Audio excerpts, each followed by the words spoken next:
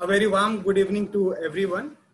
And uh, I am very delighted and excited to for this a very special lecture on uh, agriculture, food security and rural development amidst the COVID-19 pandemic, insights, concerns and the way forward for Indian villages, uh, which is the, for the speaker for this very special lecture is none other than Professor R.S. Deshpande, uh, uh, who has also authored many books. In fact, one of the title of the book which uh, came uh, a decade ago, uh, which came out from Oxford, exactly the same title. So we are revisiting the same amidst the COVID-19 pandemic. And let me welcome all of you for this special lecture uh, organized by Center for Work and Welfare at Impact and Policy Research Institute. We are very fortunate for having a very distinguished uh, uh, but most importantly, the chair himself, Professor D.N. Reddy. so without any further ado, I would now like to invite uh, the chair for today's session, Professor D.N. Reddy, uh, who is such a famous professor that I don't think that uh, I, I, can introduce him a lot. Uh, but just briefly, I would say that uh, Professor D.N. Reddy is, was a, a, retired professor uh, at, at in economics and also Dean of School of Social Sciences at University of Hyderabad uh, sir is having numerous positions at many think tanks, many research organizations, including uh, Institute for Human Development, where I also got uh, opportunity to work with Sir, Indian Society for Labor Economics, Indian Economics uh, Association, and so on and so forth. Almost uh, past many four five decades, uh, Sir's work is famous all across India and over the world.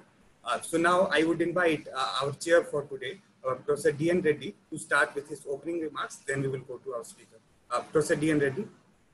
Uh, thank you, Arjun. And uh, I have accepted to be here largely because uh, it's quite some time I saw most of my friends who are sitting there.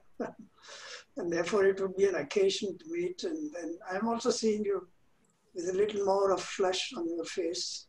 I think uh, COVID doesn't seem to affect many of us we are trying to face it with the same challenges that it should be.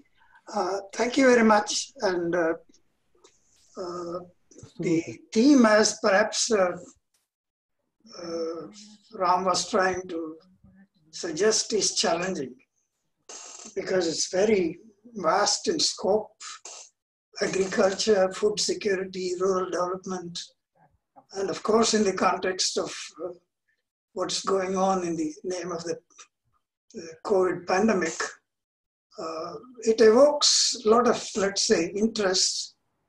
And the kind of, let's say, responses are also very widely varying. In fact, if you could sum up, uh, there could be two extreme kind of responses for every one of these aspects. Either it is agriculture, uh, food security, or rural development.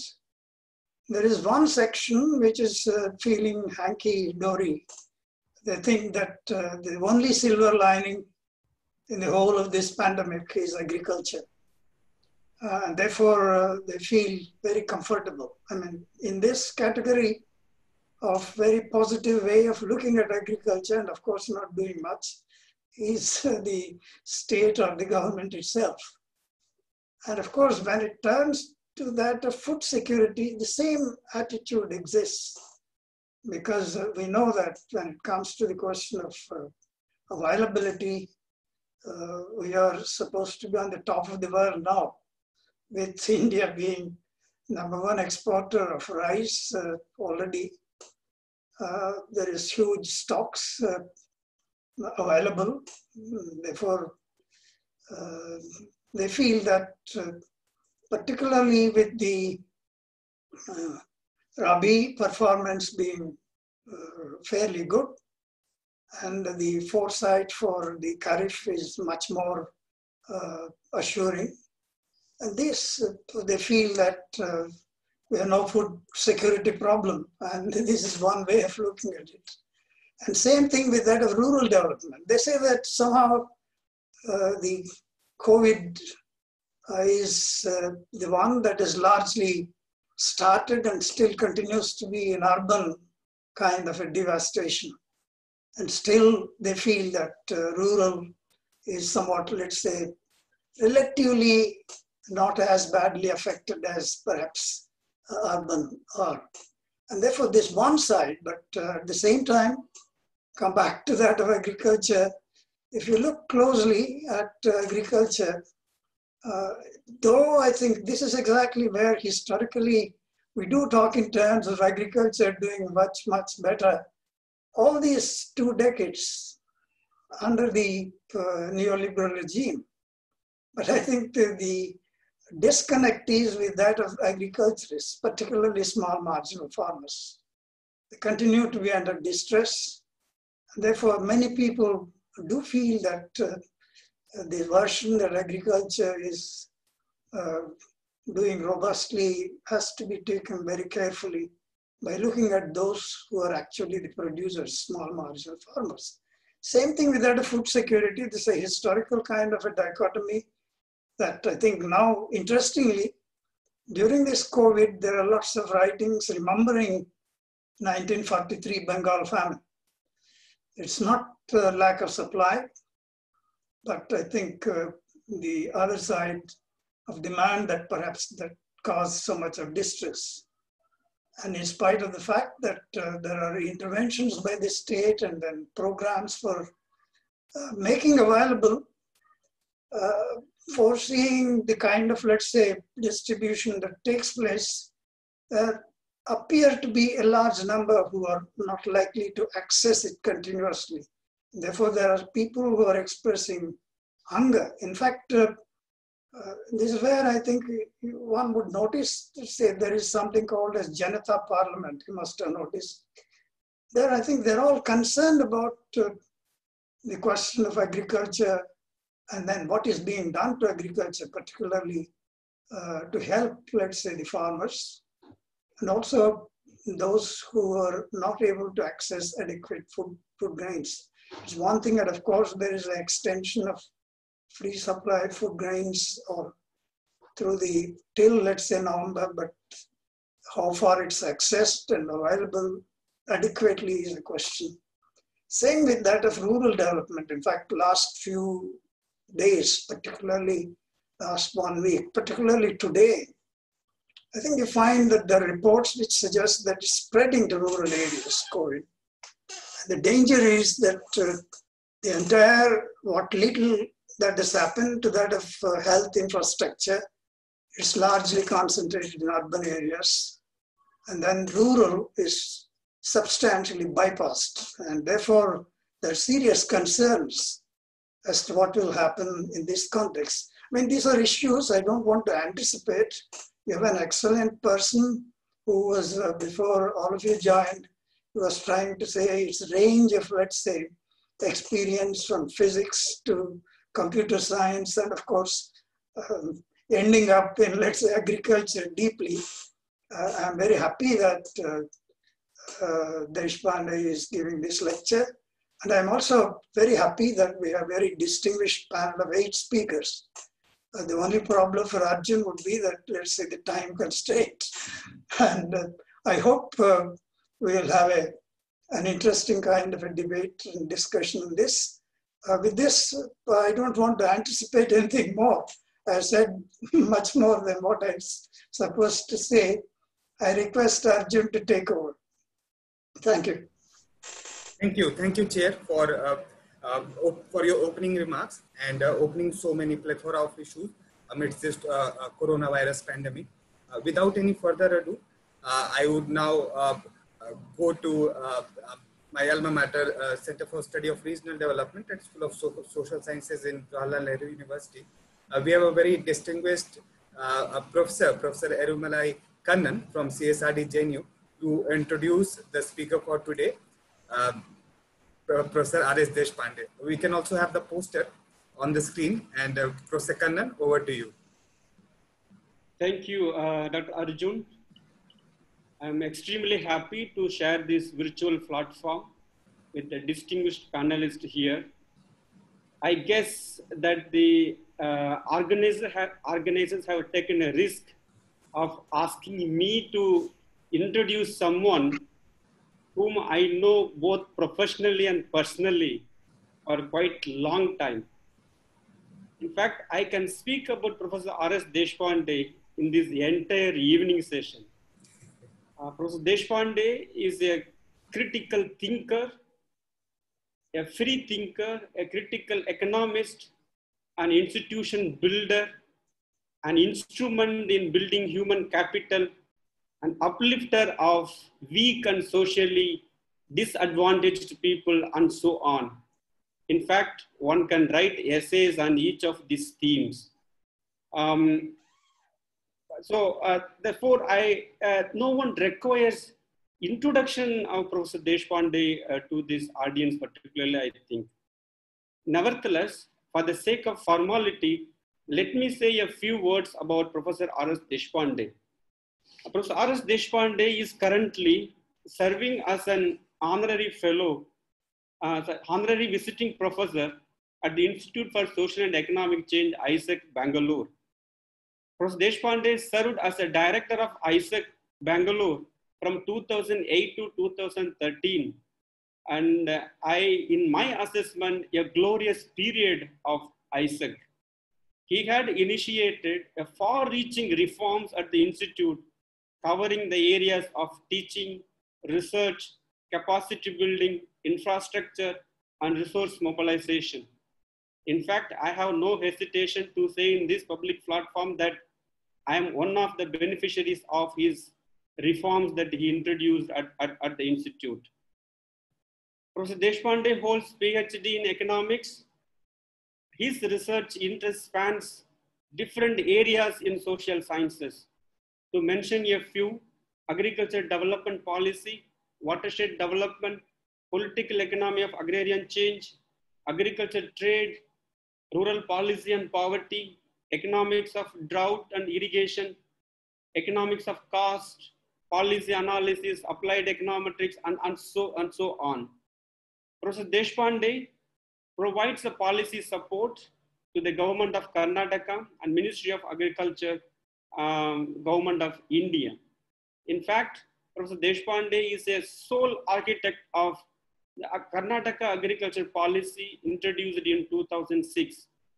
This was a kind of a kind of first a policy at the state level introduced in the state of Karnataka and other states to emulate such a policy um, to, to see that the agriculture is given prime importance, not only in the policy, but also in the implementation side. side. Professor Deshpande was also a chairperson of Mission on Agriculture and Rural Development of Karnataka.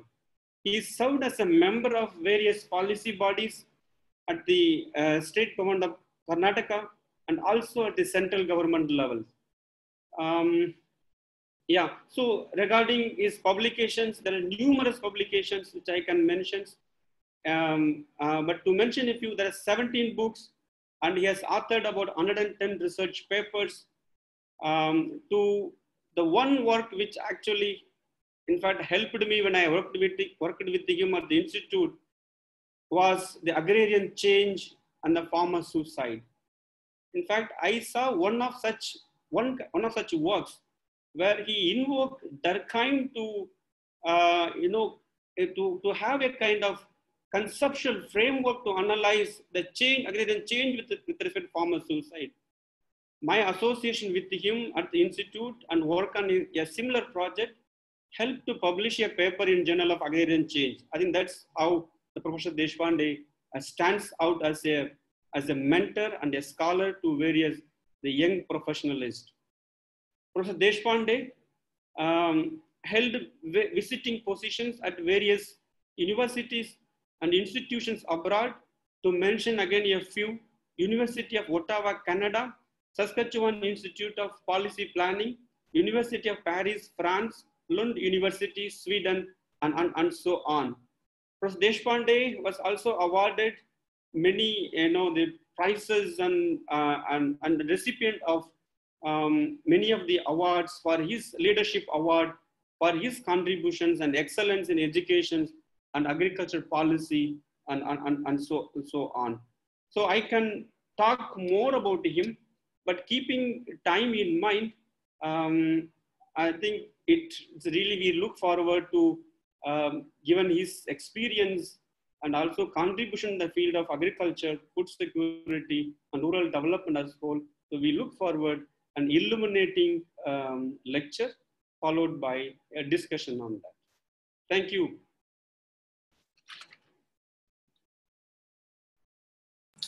Thank you so much, Professor Kannan, for being so kind and coming here on, on short notice and uh, for so much uh, of uh, gracious introduction. I know the, the, the, the version which we share was much longer. He also tried to be brief and concise without any, any, any uh, further delay of time. Now I would uh, request our uh, chair to, for our speaker to, to start his speech. No, I request now Yes. Deshpande to start. Let's see. Okay.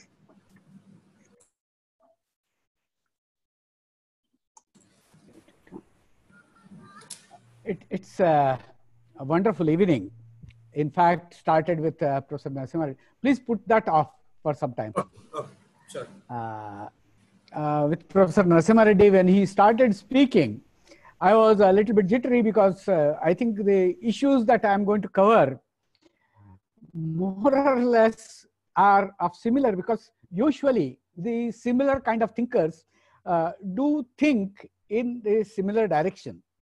Professor Reddy is, uh, uh, has not taught me, but if I say that, it will be erroneous. Because sometimes you read, you understand from the person and person's writing, and that's also a guru.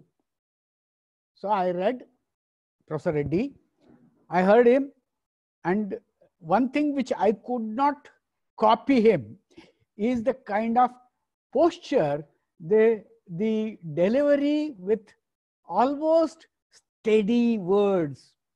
I'm a little bit hurried person, hurried so much that I hop and hop and jump, hop and jump.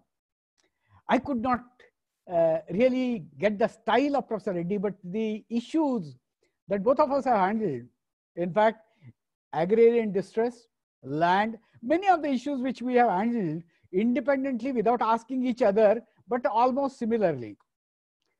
So I was a little bit jittery. And thanks that he, uh, he, he spoke for a few minutes. And thanks Arjun for that. Possibly you would have restricted. no, not that.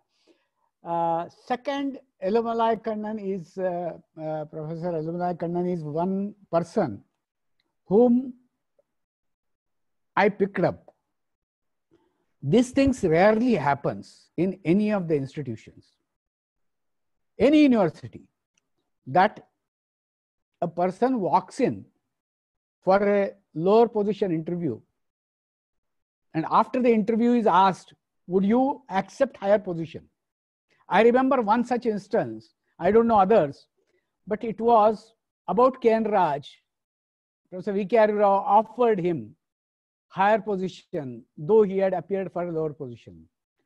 He went out of the uh, room, called him back and said that we offer you a higher position. Exactly. And I, I, don't stop at that. In fact, the selection committee for professorship also thought that why can't we take him up above? We could not. In any case, it was wonderful that Professor Kannan introduced and he did not, he uh, carefully avoided that indisciplined part of it. That I was never a student of agriculture economics. In my lifetime, I never sat in the agriculture economics class. I don't have land. I have not plowed land, planted uh, crops, nothing of that sort. But then it's sheer out of my interest. I entered into it and I mastered it and happened to be in it. It was all my friends. I was thinking of extempore speaking, but then when uh, Professor Arjun was continuously talking to me and trying to put the thing, I thought I, I, I, I sensed the seriousness of the entire event. And when Professor Reddy was invited, this man invited, that man, I, I really felt that yes, I must do a good job. And doing a good job, it, it takes a bit of time. So last three, four days working on it and made my notes in the form of PPT presentation. Usually presentation is done when there is no power in the points that you make. But then I have injected power in the points that will be presented. May I ask you to uh, share the presentation, Professor Arjun? Sure, sure. We are doing.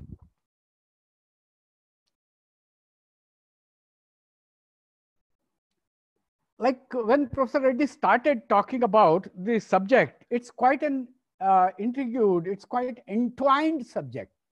Entwined in the sense that on one side, we have a huge stocks. We are happy. We're absolutely happy that we have huge food grains production. Our godowns are full. There is no dearth of uh, food grains as such. And unfortunately, when we talk about grains, uh, Arjun, uh, may I, I'll, will I be able to change from here or you will change it? I will change it. So you can just say next, I will change. Okay. Uh, there, there is a no dearth of uh, grains as such. Unfortunately, in agriculture economics, for whatever sake, long back, it is in 2001, uh, Professor V.M. Rao and myself were discussing, they total the food grains, just cereals, millets, pulses, and that's food grains. There are tubers, there are other things which many people eat as total food. And that food sometimes is far better than what we call it as a food grain. But in any case, as far as food grains are concerned, we have a lot of stock. But at the same time, we have this migrants worker on the left side sitting with a plate in order to get the food for themselves. The next, the kind of tragedy is next. Hmm, that's it. The kind of tragedy is no back back. The kind of tragedy is something which is unexplainable and many people have tried to put their hands on it. I have put the travelogue of today's lecture in these uh, seven points. Getting at macro picture and blurring the rural. I know some of my friends will get a little uncomfortable with that word blurring, but I was trying to find a suitable word for the glasses given to a cataract patient after the operation. The glasses are dull. You can't see out of it. And after searching for it, I got it. It's blaring. The blaring the rural, I would be talking about how from the independence onward, we went on masking or blaring the rural scene as such. Somewhere between 1970s, it suddenly picked up and again died down slowly. Then I'm talking about economic retrogression.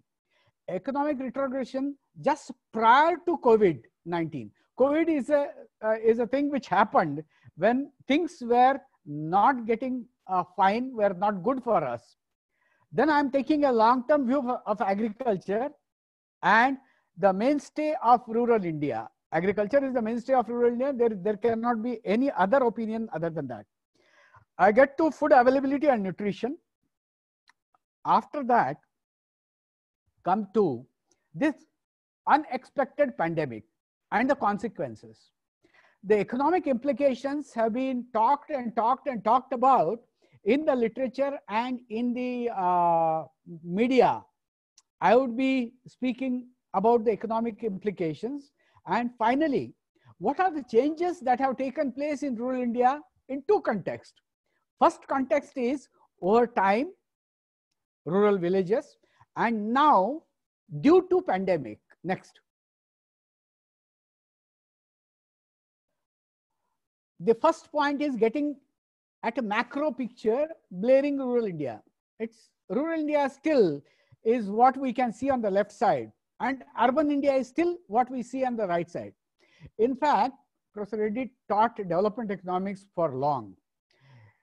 And as a villager, I was born in a small village. As a villager, many of us understand development as urbanism. If I wear a pant and shirt, I'm developed. If I wear a kache panche or a small dhoti and a bandi, I go around, oh, village go. The kind of thing is that over time, inadvertently, maybe without knowledge, but urbanism, urbanity, urban consumption, urban goods, and equating to the urban people became the synonym to development. And that's where blaring of the rural areas began.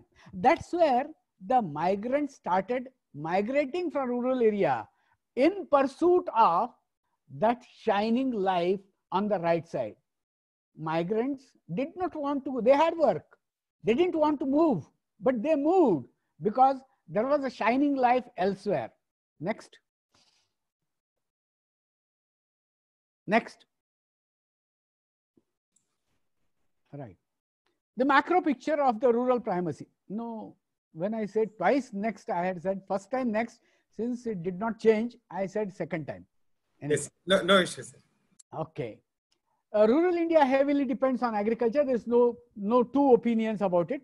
With 127 million cultivators, of which 82%, and Professor Reddy has emphasized that, are small and marginal farmers, 107 million are agricultural laborers. Look at that. The kind of proportion of population that depends on rural India is enormous. In 1718, total food production was 275 million tons. India is the largest producer, 25% of the global production. Consumer, 27% of the world consumption. Largest importer, 14% of pulses in the world. On paper is food self-sufficient. And that on paper is something which is a punch because we are food self-sufficient. india's annual milk production is 165 and today the uh, milk producer in Maharashtra are pouring down the milk on the roads in order to get proper price for the milk. Making India the largest producer of milk, jute, pulses, and with the world's second largest cattle population. You take anything, India happens to be one among the first few countries in the world. India is the second largest producer of rice, wheat, sugarcane, cotton, groundnut, etc., etc. The thing is that India is also a very strong consumer of many of the commodities which it produces. But the per capita food grain availability is 491 grams per person per day which is less than 500 grams per person per day required or in fact the international standards are far above. I, I, I, I remember our uh, um, former planning commission uh, deputy chairman who was telling that the kind of things that are there in the western side of the world we need not apply to us. Certainly there is some minimum necessity and i'm not emphasizing that point. I am emphasizing food for everyone and that is not there. Next. Right. This is a very famous figure. Right from Vicario onwards many many researchers in india have used it. That the share of agriculture share of industries or manufacturing share of uh, Mm, service sector, share of agriculture declining. It has reached more or less 18%, 13%. Share of manufacturing sector has been increasing steadily, but then the share of services sector has been increasing very high. The meaning of it, and if somebody recollects, the national income book by V.K. Rao in 1984. Fortunately, I had uh, some heckling by Professor Rao for collecting the data for the work. He wrote a very a, a, a few sentences very simply that it's it's it's natural that the share of agriculture would go down. It should be natural that share of manufacturing and industrial sector should compensate the share of agriculture. But that's not happening. What's happening is the compensation is coming from the services sector and services sector is a big helium balloon. I use my physics, uh, chemistry. Why helium balloon? That helium balloon does not just blow off, it blasts. Now, this is exactly the thing that we are going ahead. Uh, look at that, that agriculture sector, the share is going down. But then most of the researchers, and I have seen umpteen number of them, senior, junior, middle level, everyone, agriculture sector share is going down. But then you compare with workforce in agriculture, it's not going down at the same rate. What's the implication? Implication is the carrying capacity of the agricultural lands in the rural area was increasing very fast. Professor Alagh had written on that long back. But we did not read between the lines. The carrying capacity of rural India is increasing per hectare, per thousand, square, uh, thousand hectares, number of persons are getting more. Naturally, the Lewisian framework applies, applies but in a wrong sense. Next. The share of rural economy, not agriculture, share of rural economy is still 70% of workforce and 47% of the total domestic product. Total. This is rural economy as such, not agriculture alone. And therefore, the dependence on rural economy of the country, even though steadily going down, has not reduced totally. Next. Next, uh, sorry. All right, let us see if we have gone down in agriculture sector's contribution to the uh, total GDP, aggregate GDP, aggregate national uh, income, etc. What happened to the industrial sector? Right from 50, 51 onwards, there are two things. Industry and gross value addition in the industry. Total industrial growth growth of industrial sector and gross value addition in the industrial sector. It should have increased by all means because that is where we have emphasized right from 1950-51 onwards, from the first plan onwards and increased in the second plan and went on doing it. It should have been something like a curve going up, the growth rates increasing, the gross value addition increasing, it did not happen. It happened so that it's more or less almost parallel. Next. What happens in agriculture? We had had a green revolution around 67. You can see that green peak in 67, 68. Then there is another peak around 89, 90. And these are the agriculture and allied sector growth rates. After these two peaks and one small two peaks in between, the agriculture growth rates have been almost at 3% continuously. It's not last two years, last five years, last 10 years. It's last 1950 onwards till 2019 20, which means have we really done sufficient in order to make agri it is it's providing food. The productivity is increasing. But then is it that we have done something to pick up the growth of the agriculture sector? Unfortunately we focused more on urbanity urbanism and urban sector.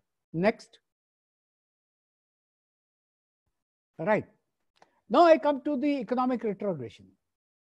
Economic retrogression prior to the impact of COVID. Certainly, before COVID came in, there was the growth rates were slumping down. There is no doubt about it. Whatever way you calculate, whatever way you do the jugglery, the growth before COVID was coming down, not substantially, but steadily. And there were hopes and hopes that this will pick up. We shall inject investment and the growth will rebounds back at 5%. Growth will rebounds back. Fiscal deficit will be controlled. And these were the hopes given. Unfortunately, COVID came in between. But what was the retrogression? Next. the downward spiral again coming from right at the first quarter of 2013 to the last quarter of 2020. The uh, nominal GDP growth has been coming down and so also real GDP growth. The corrections, corrections incorporated by the finance minister and I believe so very sincerely because ministers don't make corrections. I'm, I'm, I'm of the great opinion that politicians are there to sit in the chair. Rather, the work is done in the back office by the secretaries and the finance ministry. And I do not want to blame them. I may blame politicians, but I do not want to blame the excellent bureaucrats who are sitting behind.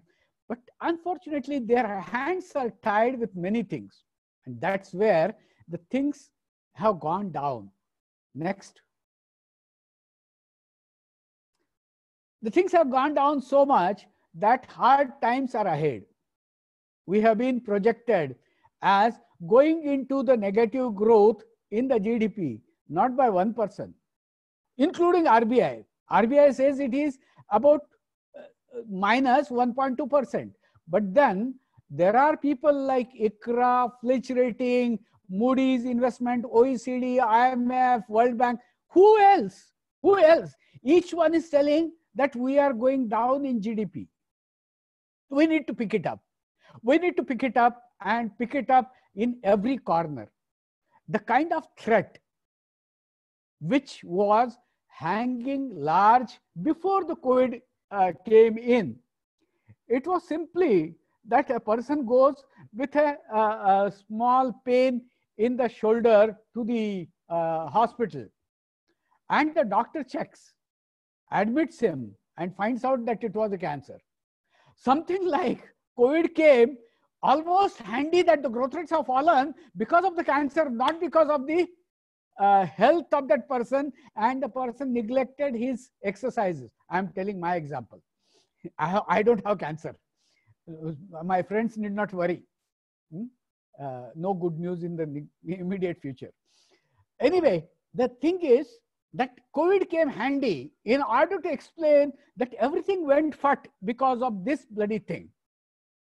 Next. Okay. Now, as far as GDP growth is concerned, fine. But what is happening to consumers? What is happening to the economy at large two simple indicators what is happening to investment and savings and what we see is from 2005 6 onwards it's not again last 5 years 10, 10 years and in fact i could have taken a longer time series longer time series that the investment and savings are going down economists all sitting there would know that if the savings and investment go down growth has to slump down and growth slumps down, consumption has to slump down. And consumption slumps down because demand has slumped down. Now, simply providing income in the hands of the people may not pick up the demand because possibly they may spend it for their own purposes which they have kept hanging. Next. I've come to food availability. Now, food availability is stagnant. And what what is here shown the net availability and country's food production. Country's food production is given in the red line and the food availability is on the flat. Long back i, I remember professor Ambannavar and Pravin Visaria they used to always compare uh, also tim dyson they used to always compare the growth rate in the food production with the growth rate in the uh, population.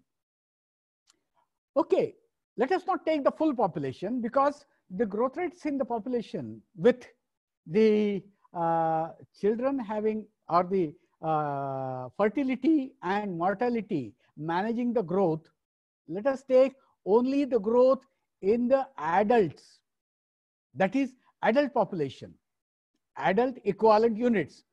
Even that, if it is compared, certainly we should be fully self-sufficient. But then it did not happen next. what is the availability of cereals, pulses, and food grains? It's very simple that right from 51 onwards, I tried to get to the net availability of food grains in cereals, pulses, and total food grains. The top one is the total food grains. It was lower.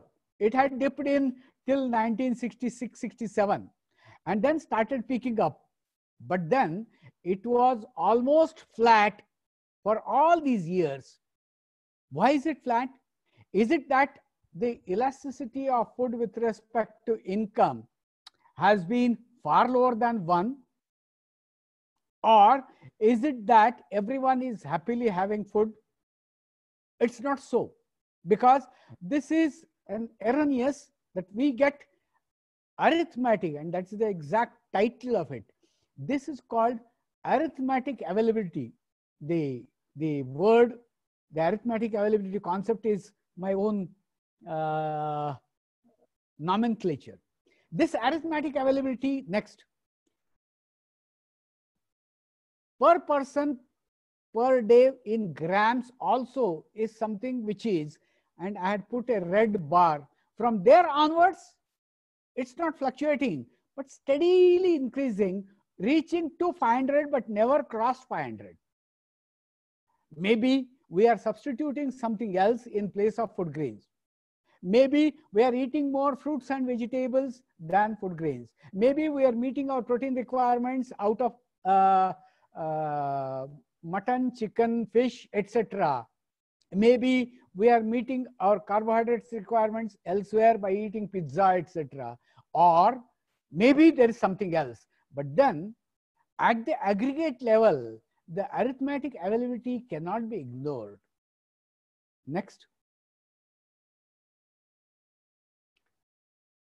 This on one side that we have arithmetic availability. On the other side, among the lowest 30% of the expenditure classes, the average per capita consumption of energy is 1811 kilocalories per day, far below the requirement. Of course, I, I, I, I would go by Pangdia. Pangdia says that we require less energy in order to work more. Maybe, maybe. But then we have less energy consumption as compared to the rest of the world, especially rest of the developed countries or the countries which are slightly at par with us. This is far lower than the Indian Council of Medical Research norm of 2155 calories. Protein is 47.5 grams per day compared to 48 grams, slightly lower. And the fat is 28 grams per day, again less than ICMR norm. And then for urban areas, per capita intake of energy is 1745. It's not very great. They may be eating less and 2090 per day norm of ICMR. This is from Government of India publication done with the food uh, World Food Program. The, the, the problem is that we have, we have an issue here. We have a lot of food, but still we have a lot of malnutrition, lot of wasting, lot of stunting of the children. The reason next, the reason is that we are not able to make access to the food.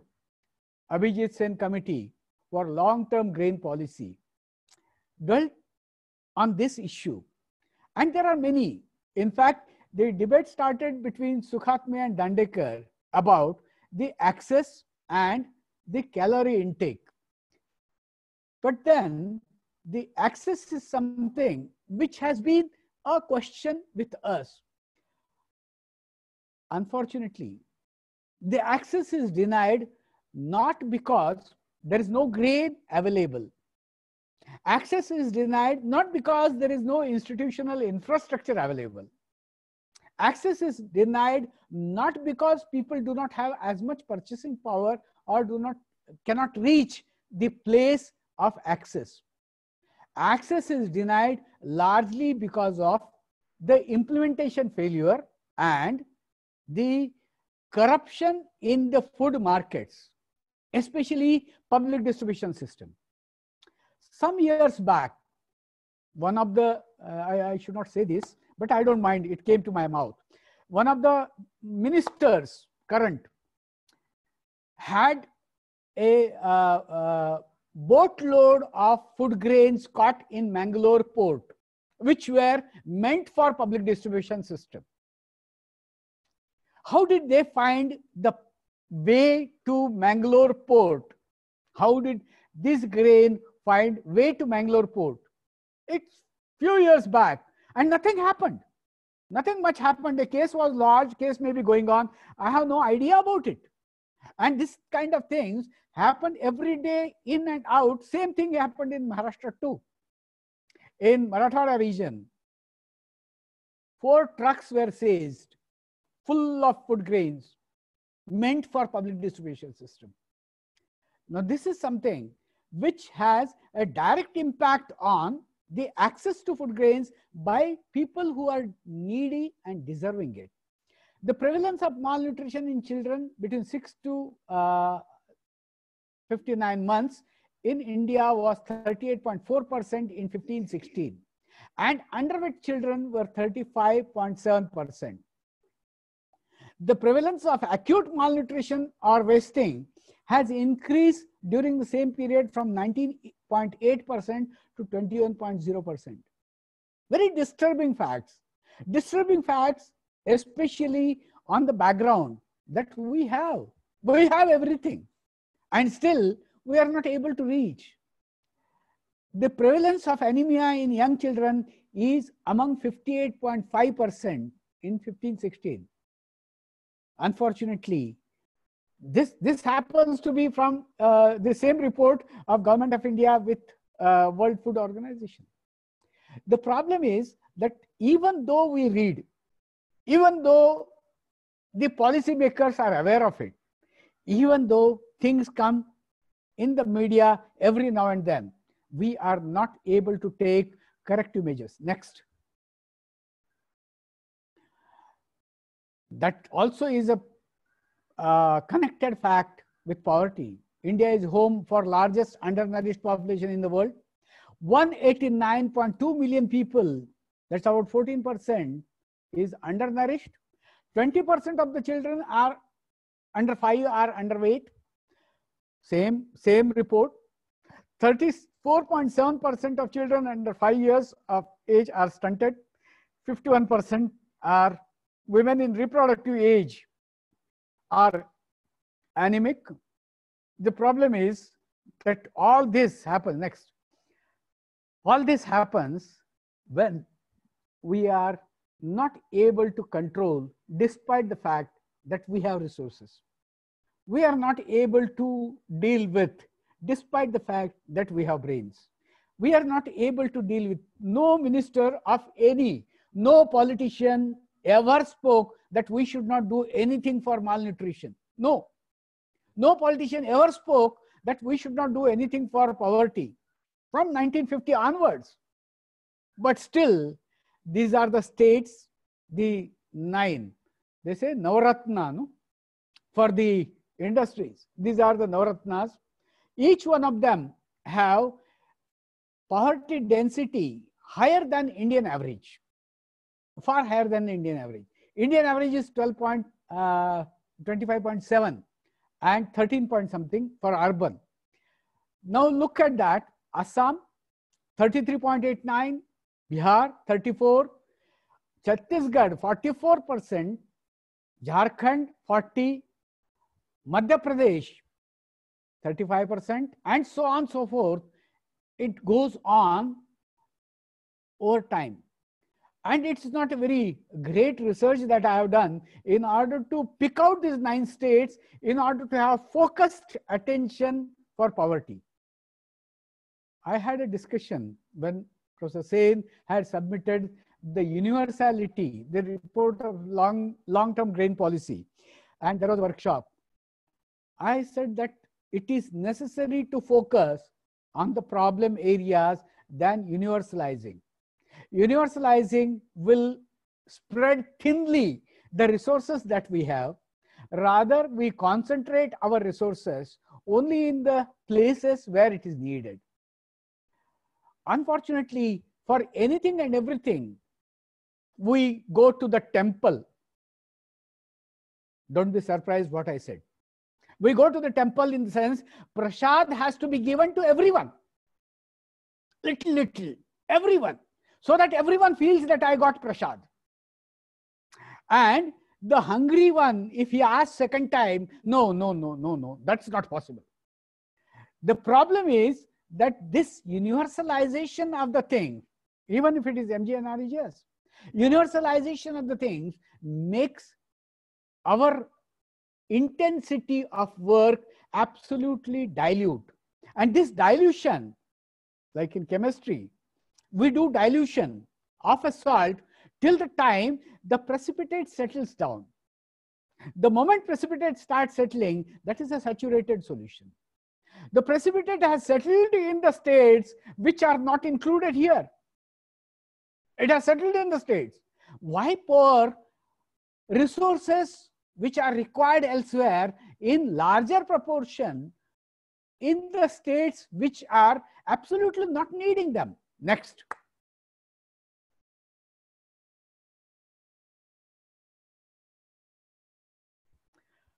There are vulnerable pockets and sections in India. Vulnerable pockets are highest level of stunting is found in Jharkhand, Bihar, Uttar Pradesh, Madhya Pradesh, Gujarat, and Maharashtra. Maharashtra, not Pune. Maharashtra, not Mumbai. Maharashtra, not Nashik. Maharashtra, not Aurangabad. Maharashtra in Gadchiroli. Maharashtra in Chandrapur. Maharashtra in uh, Malshiras. Maharashtra in the areas where it can be located. And my uh, friend Nitin, Professor Nitin, has located that there is there are spots, hot spots in the state of Maharashtra located. Two poorest quantile groups in Haryana, Meghalaya, Karnataka, Rajasthan, and Punjab have high levels of stunting. Among the social groups, and this need not be told, this need not be told, this is like showing mirror to myself that, oh, I look nice. And that's exactly the thing. 43.6% of the castes are stunting, scheduled children are stunted. Next comes scheduled, uh, tribe children. Next comes scheduled caste children. 42.5% of the scheduled caste children and other backward class, 38.6% are stunted. The focus has to be there. Focus has to be on the children who do not get to eat, who do not get that nutrition package which is required. But then, in order to distribute to everyone, we, we, we spread the resources thinly. Stunting in children of scheduled tribes in Rajasthan, Odisha, and Meghalaya is very high. Stunting children in the scheduled tribes and scheduled castes is very high in Maharashtra, Chhattisgarh, and Karnataka. Next. Now, this was the situation, or this is the situation, which we have continuously, not last 10 years, not last six years, not last 20 years, not last 50 years, last 70 years. Things have been, are being corrected. And at times I said that in the second plan, there was a list made, that time Gadgil was there. There was a list made of backward districts of the country. In the 11th plan, a list was made of the backward districts of the country. Surprisingly, from the second plan to 11th plan, we achieved nothing. The same list continues in front of us. Then where is our planning? What did we do all along? The problem is that we did not have COVID to blame, but now we have COVID to blame. The problem, COVID has cast a long shadow over our growth prospects. And I had shown you earlier that our growth prospects have been deepening, like anything. Now, this unexpected, unexpected pandemic, many people say that uh, initially we, we, we thought we'll control it. Then in between, the statement comes from the most powerful person of the country, we will be controlling it. Again comes, we are controlling it. We have controlled it. Unfortunately, we have not done much and the consequences are absolutely bad. apart from the deaths, apart from the deaths, the consequences on the economy are extremely painful and I don't know how much time we would take to recover out of it. Next. COVID-19 struck with sufficient warning, sufficient warning in the sense that few months warning was there. We, need, we needed to close our borders very strongly. Nothing, nothing doing, it's closed, it's closed. Initially, neither the government nor the people took it really seriously. Forget initially. Even today, yesterday, a wing commander, a wing commander's family is COVID affected. Uh, about a few steps, uh, just the next house to Professor Aziz's house. About a few steps ahead from my house. The wing commander was very firm that I'm taking total care. I have, I have nothing. I'm, I'm absolutely, the complete family is affected because it was complacence. The complacence is shown so much that today I was told for the Ganesha festival, the markets in Mumbai are full. The markets in Pune are full. Everyone is rushing out of the house with maybe mask, without mask, but everyone is rushing out of the house. Now, if that is so, we are not taking it seriously. It exposed our health disaster preparedness, shattered the very fiber of our public health system. Our public health network is extremely good in the urban locales. Again, there is a strong urban bias as far as health is concerned. We are the country where people come for health tourism in order to replace kidney, they travel to India. In order to get an eye operation, they travel to India. In order to get the liver operation, they travel to India. In order to get a heart replacement, they travel to India. Heart uh, surgery, they travel to India. We have large number of multi-speciality hospitals. But we have about 23% of the villages without PHCs. We have the distance for the villagers in rural India, the average distance to PHC is 48 kilometers. Now this exposes what is our preparedness. And forget about anything else. If in the village India, if COVID strikes, and it is it is slowly crawling to village India. If COVID strikes, are there hospitals with oxygen mask? Are there hospitals with ventilators? Are there hospitals with proper drugs? Are there doctors with PPE? Nothing. We are unprepared. We are unprepared totally for rural India. We are very much prepared in Lilavati Hospital. We are very much prepared in Gunasheela Hospital. We are very much prepared in Devi Shetty's Hospital. We are very much prepared in Apollo Hospital.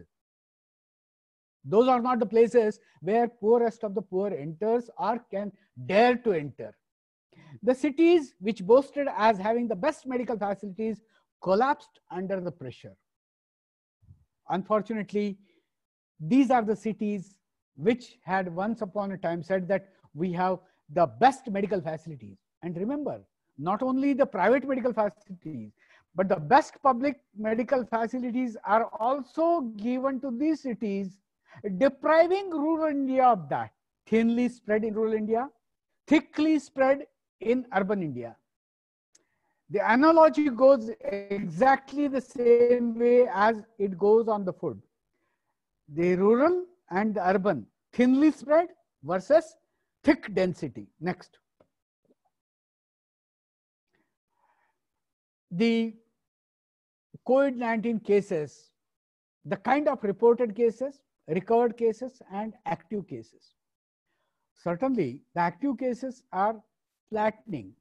Probably the patients are responding. And India, for that matter, is a place where every kind of uh, immunity is built because of our excellent living conditions.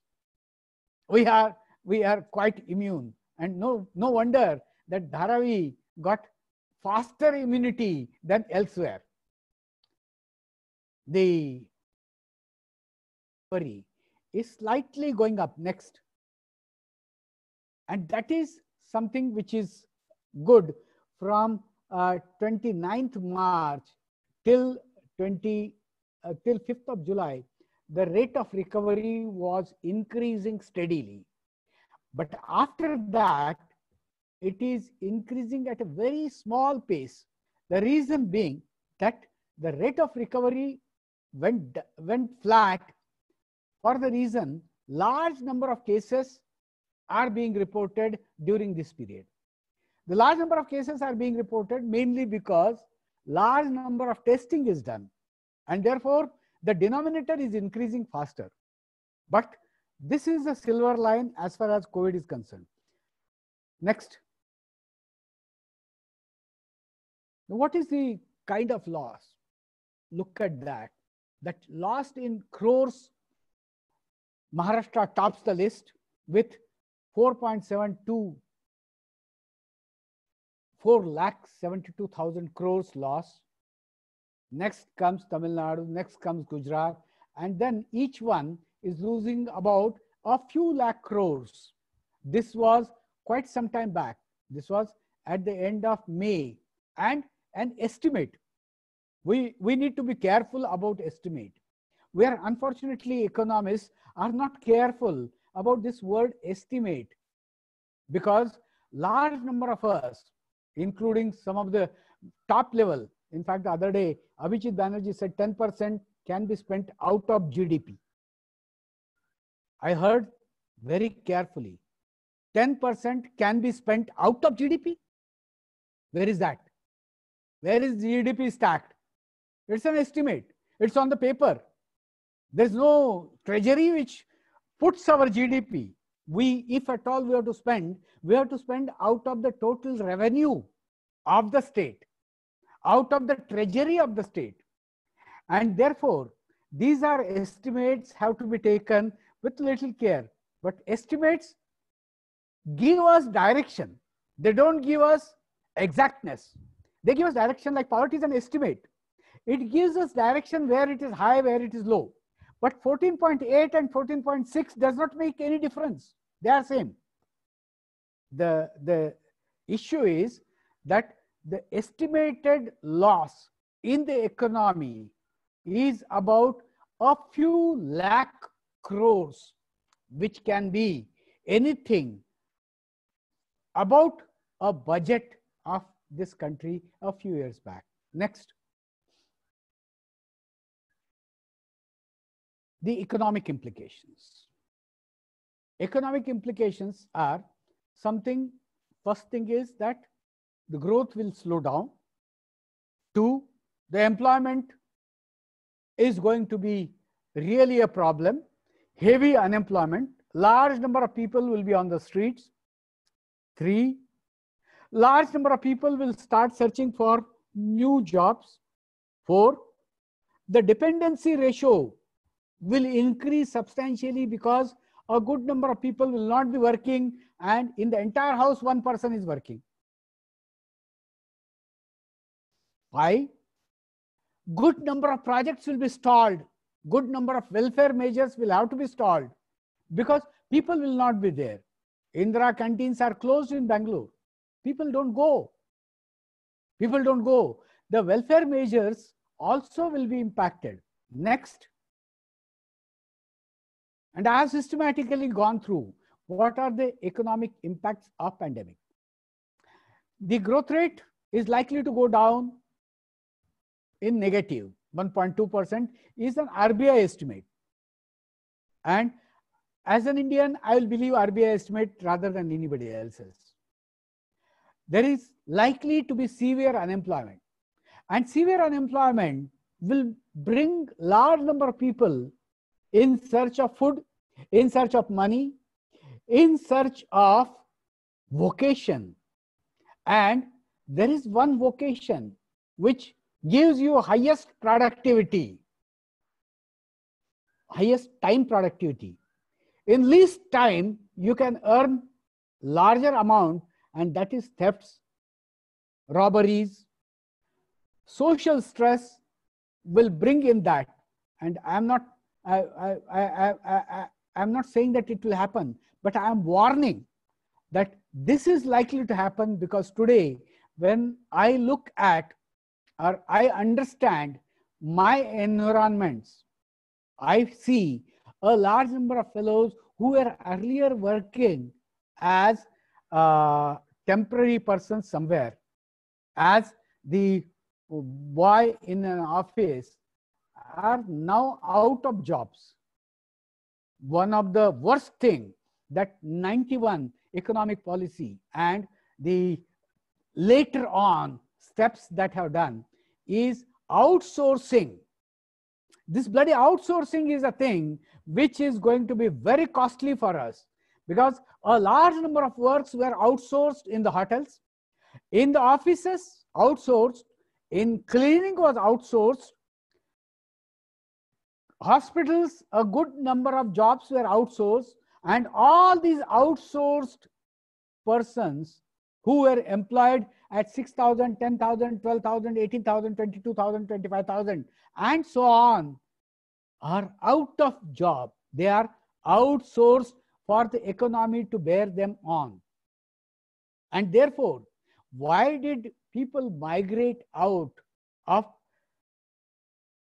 cities like Mumbai, Bangalore, Madras, etc.? There was no cozy environment. They had some dwelling, but they had no money to pay the rent. They had some dwelling, but they had no money to eat. They had some dwelling, but they had nothing in front of them. They can't go to market, they can't buy anything. It's better to go to my village where, if not me, somebody else will feed me. The reason for the out migration out of COVID is mainly because not that they were not looked after by the industry is one, but not that that they were thrown out of outsourcing. A large number of them are casual workers. Professor Reddy would uh, bear me with this. The casualization of workforce and feminization of workforce are two important observations done by labor economists in the entire country. This casualization of workforce is one of the root cause of this entire episode. The poverty is increased, inequality has increased, and that's what uh, we, we, we get from the uh, Action Aid report. Disruption of small businesses, unorganized businesses. All those people who were selling it on the roads are out. They are off. Those who used to come to the doors selling vegetables, etc., are off. Estimated global loss is 8.8 trillion. This is what Asian Development Bank has estimated. Estimated GDP loss in India is 30.3 lakh crores and about 13.7% of the GDP. This is somewhere around March. There are three months have gone. April, May, June, July, four months have gone. So this can be anywhere near 19% now. Next. Need to look for in post-COVID-19. Reverse migration coupled with people no longer willing to move out of the village. They have gone to the village. They feel it's headache now to go back if they find job. Will have a number of impacts on the rural economy as the labor force in rural economy will swell. Manufacturing sector has shrunk and the fear psychosis has made smaller units to close. People feel, no, no, no, don't want to take risk with the laborers because they live somewhere. They come somewhere and they have to work with us. The software industry has a very good uh, facility work from home. But then the MSMEs do not have that facility. You have to be on the lathe. You have to be on the cutting machine. You have to be on the shop floor. And if the laborer is coming on the shop floor, the owner feels danger of it. And therefore, owner feels better I close it than I open it. The health infrastructure has proved inadequate. Government has very delayed response in labor movement, absolutely delayed response. They should have started it long back and registered labor who want to go to their places. But then that is the that is the worst situation that we have. And that's what I started with the first slide. Agriculture supply chain collapsed. People started throwing their tomatoes, onions, etc. in their fields uh, and the vegetables. They were not able to sell. They were not able to come to the cities to sell. Rural workforce swelled like anything. And the new entrants have come. Now, these new entrants do not have the job matching skills. They cannot plow now. They have come to the uh, to the city working in Zomato. He was going on the motorbike, but then when he goes to the village, he takes the motorbike, or he doesn't have the motorbike which he has sold it. In the village, he is not able to do anything because all along in the city, he was in Zomato or he was cleaning the office or he was distributing or he was a ward boy or any such thing. Those skills are of no use in rural India. We have withdrawn them. We have pushed them back. Rural dependency has increased. And I have said it further that in the villages, once upon a time, guests were welcome. Now it is not so. Next. Unemployment by level of education.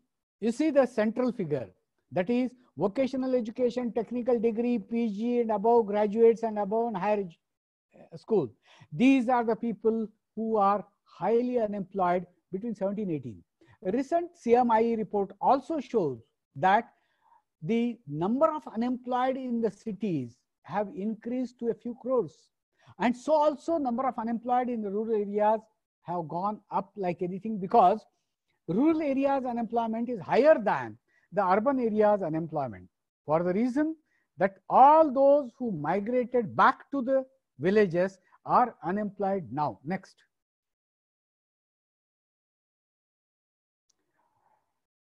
The unemployment rates, etc. Next.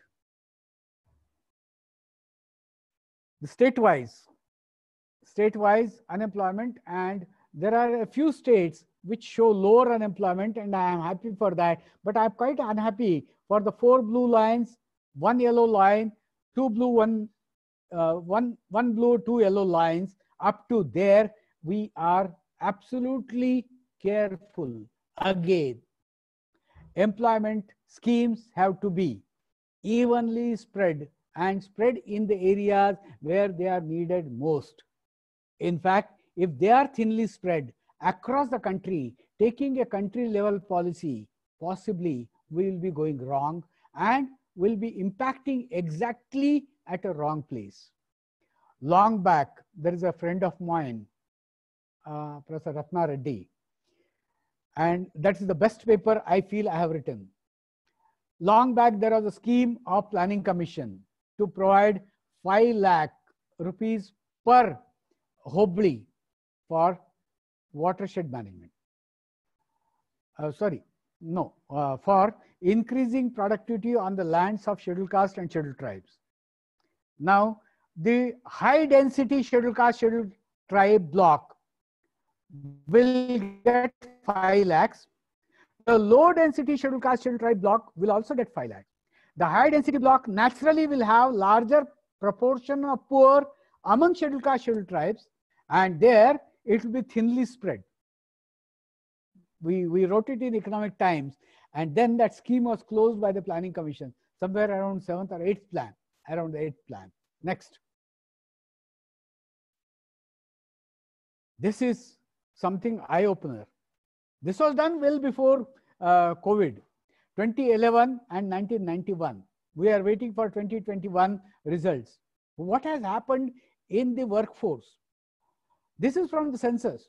From 1991, when there were 1,246 lakh cultivators, they have come down to 1,186. About 60 lakh cultivators have gone out. Where have they gone out? They have gone out to these urban areas in order to migrate back. They were recorded as cultivators. Some of them have sold out the lands. Some of them have mortgaged the lands. Some of them have tenanted the lands and agriculture laborers have increased by 583 lakhs between two censuses. This happened between 91 and 2011. 2021, we may find, because of the COVID, we may find increased number of cultivators in the uh, population census. There is one interesting fact. I, I cannot, uh, though it is slightly away, but I cannot uh, stop mentioning it. When I looked at this table, I went back to agriculture census and I found that number of holdings have increased between 1991 and 2011. I was surprised that holdings have increased, but cultivators have declined.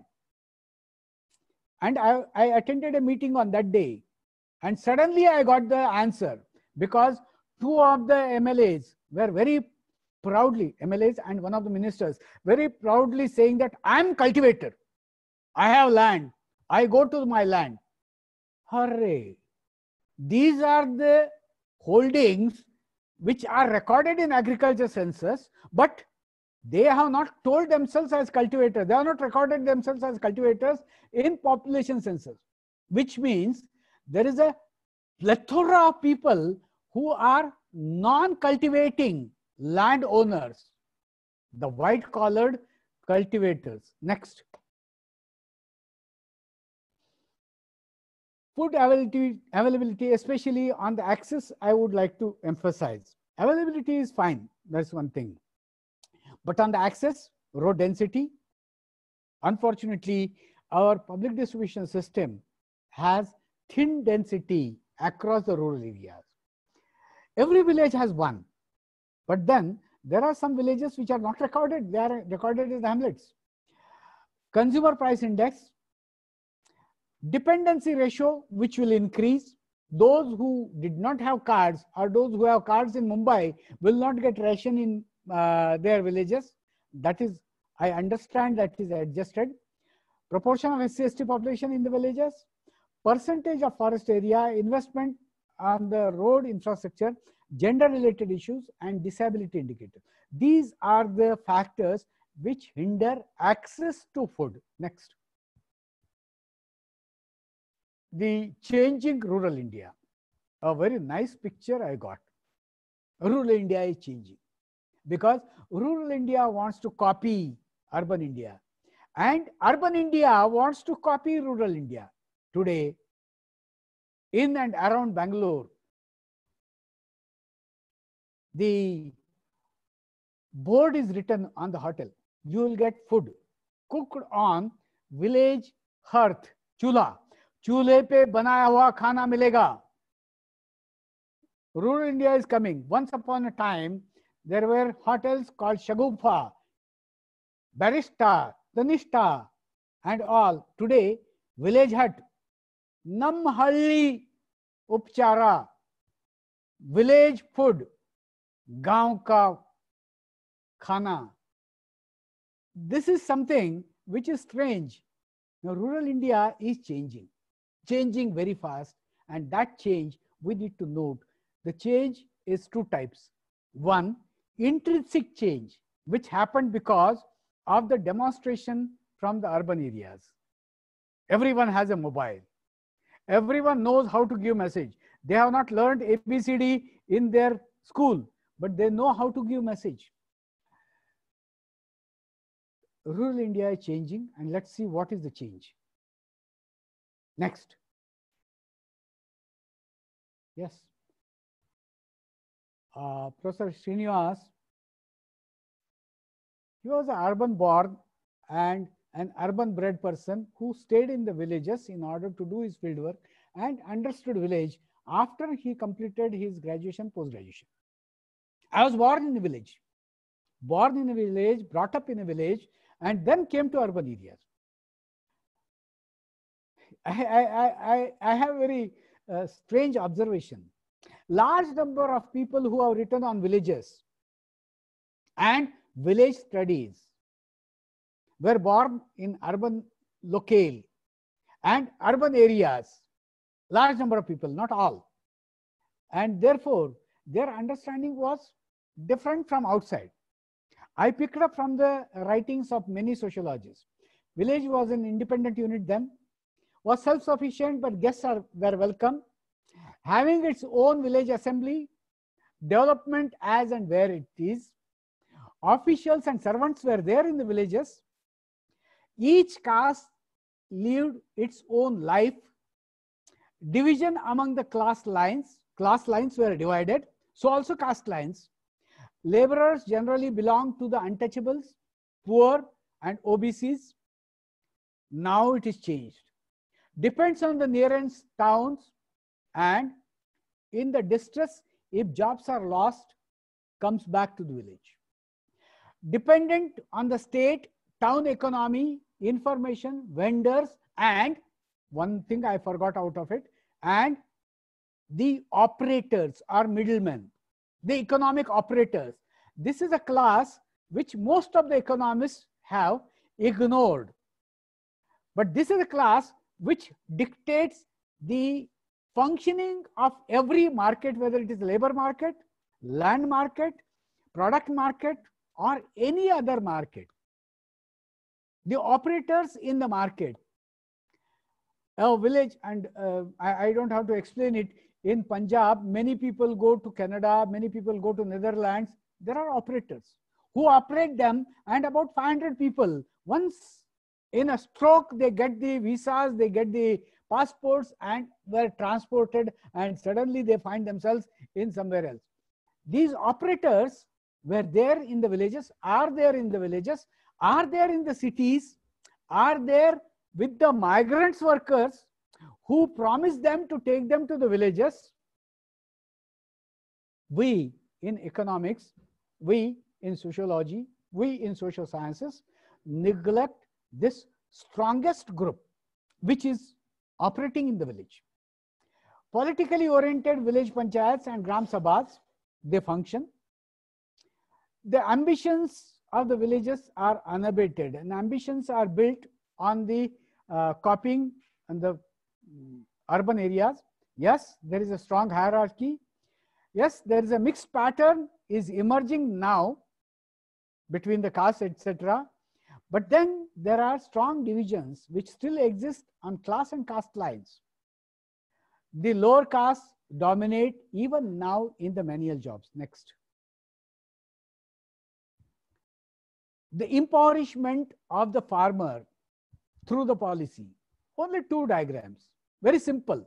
One is at what rate the inputs at the factor market prices were increasing. On the left side, the blue bars and the black lines, different factors of production in agriculture. On the right side is the red line is consumer price index for agriculture laborer. That is going straight up, which is what I spend or at the rate at which I spend to eat from 1996 onward, 86 onwards. And the blue line is the value added in agriculture. It's almost flat. The reason being that the agriculture is not allowed to increase its value added because of urbanism and urban dominance. Next. Redefining our economic contours. There are about six points which I have mentioned. Bring back the primacy of agriculture sector agriculture is a savior. Settling the returned migrants in the, in the rural areas or in their original jobs. In Hyderabad, uh, in the Indian Society of Agriculture Economics, Professor V.M. Rao had given the presidential address. One paragraph he wrote about how to get out of this embargo in rural India in rain-fed agriculture. He said that the only way is to bring small industries and working centers closer to villages. Rural industrialization is a very nice word, is a sophisticated word. But what is required is getting these small businesses in the rural India so that the employment can be brought to them rather than they go in search of employment. Create incentives for rejuvenating the manufacturing sector. Increase public investment on infrastructure, etc. Strong need for rural industrialization and institutionalization of MGNREGS. We have had this for long. A student of mine did a field work and asked one question. How long have you been going on MGNREGS work? The last six years. Now this program was supposed to be poverty alleviation program. If a person and his family six year dependent on MGNREGS only, then can we say with full confidence that the program is successful? But then it's like mother's milk. It is necessary in rural areas to provide jobs. Why not we institutionalize it? Take over by the government, provide labor from MGNREGS for like land army in Karnataka. Provide labor for all the public infrastructure projects, provide labor for all the developmental projects, including private and public sector. But the labor will be provided by this institution, which operates under MGNREGS. And the wages shall be fixed by this institution, which operates under MGNREGS as an umbrella. A lot of problem will be sorted out. Next. The issues to be confronted are again six. Increasing inequality, eroding role of the state, and increasing the stronghold of the private players in the economy, increasing consumerism in the economy, and will poverty reduce or it will stay asymptotic? I have a doubt that after the COVID goes, and in fact, if there is an NSSO round after that, which may not be there, we may find that poverty ratio has increased significantly.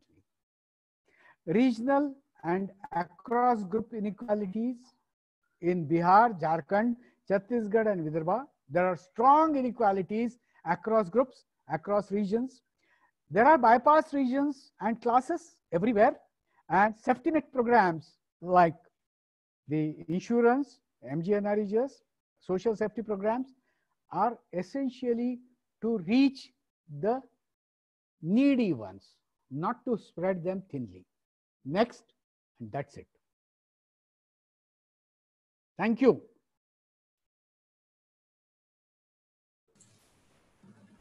Thank you. Thank you, Professor Deshpande, for covering upon so many issues and uh, and uh, uh, so so kindly giving this very pertinent lecture. Many points which sir has raised, I, I would just quickly go to our chair also, but just uh, to reflect upon what sir has uh, rightly uh, raised. Sir, I don't think I find any of the economists taking use of the fundamental education which we have.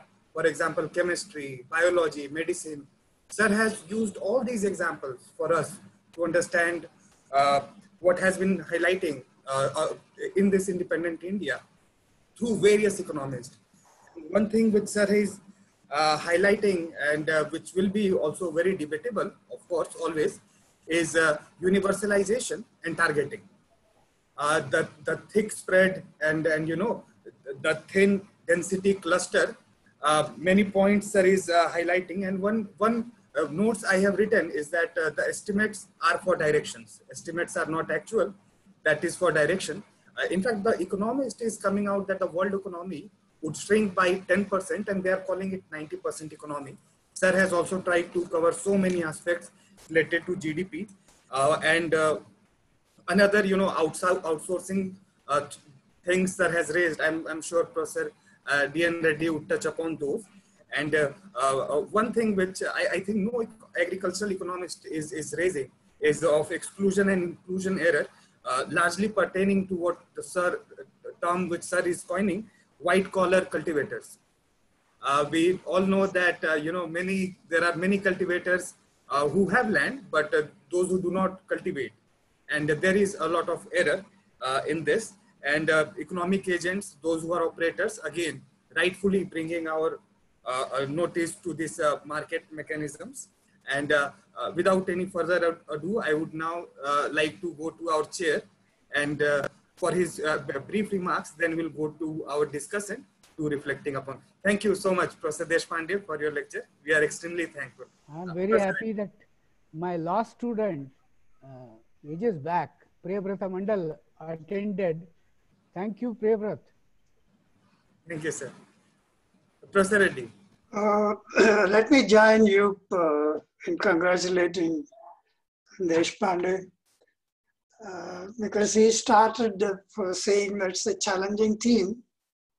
And I think he met this uh, with a remarkable kind of range you know, in time and then the way in which he covered in a fantastically integrated manner, uh, taking into agriculture uh, from the days when we started planning for development in India down to that of the present crisis. It's very difficult to sum up, but let me highlight uh, the way in which you tried to put in. And as I was trying to, let me link up as he began with the way in which we look at uh, this agriculture, uh, food security, and then rural development. As I was trying to suggest, there are two contrasting ways in which it is being looked at. Uh, Ram Deshpande takes the view that uh, uh, you have to look at uh, the entire range from where we started. And he begins with that of the what he was metaphorically talking in terms of the haze with which agriculture was looked upon. It was not visible, and therefore, in the planning, it took always the back seat. And this was the one he was referring to that largely called as urban bias, neglecting perhaps attention to that of uh, uh, agriculture. And of course, uh, there was a shock of uh, uh, in 60s, the serious shortage of food, and therefore there is some kind of waking up to this situation through that of a, maybe he didn't mention that in the name. Uh, we started with that of so-called green revolution, at least in terms of food production.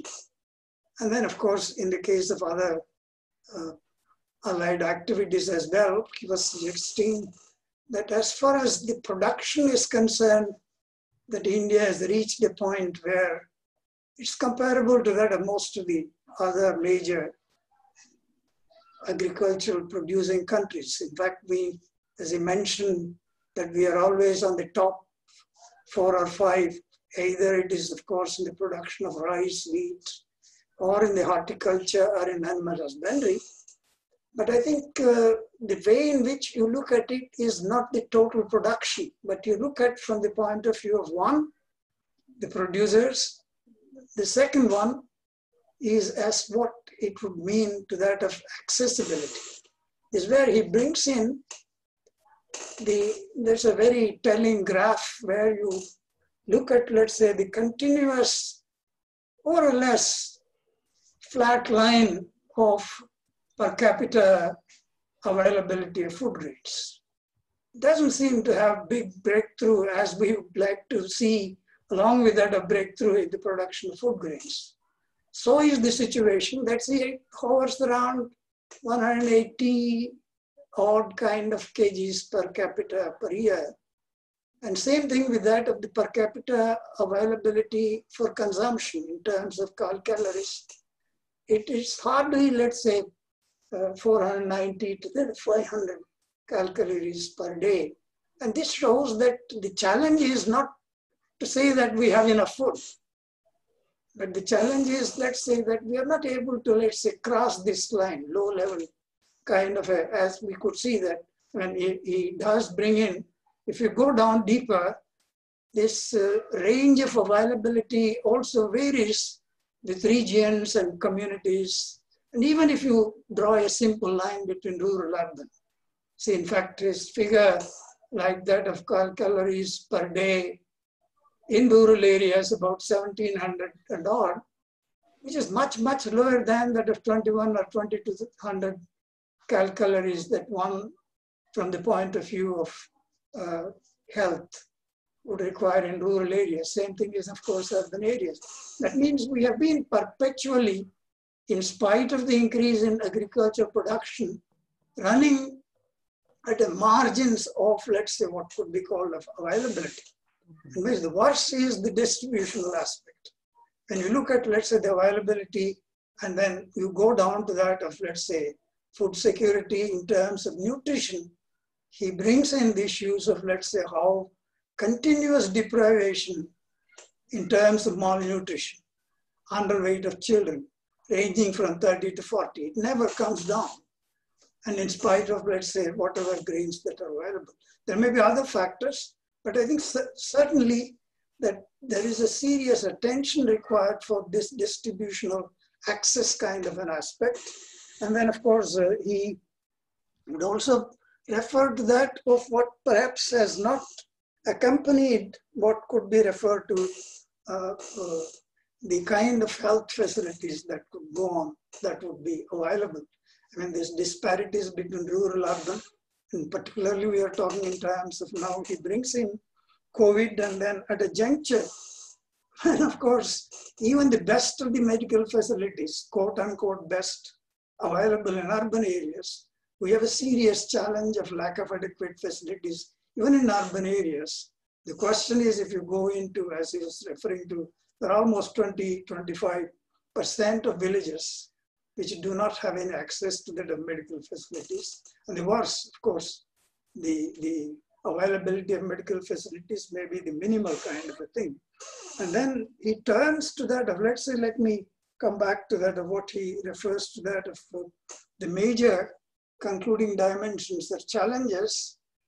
Uh, when it comes to, I mean, he puts it in terms of a six points, but uh, towards the end, I think what is coming out is uh, when we look at either the loss of GDP, the range would be right from RBI to that of, let's say, ICRA, from one point to that of 9, 9, 9.5%, or uh, the, in terms of, let's say, what it means is in terms of unemployment.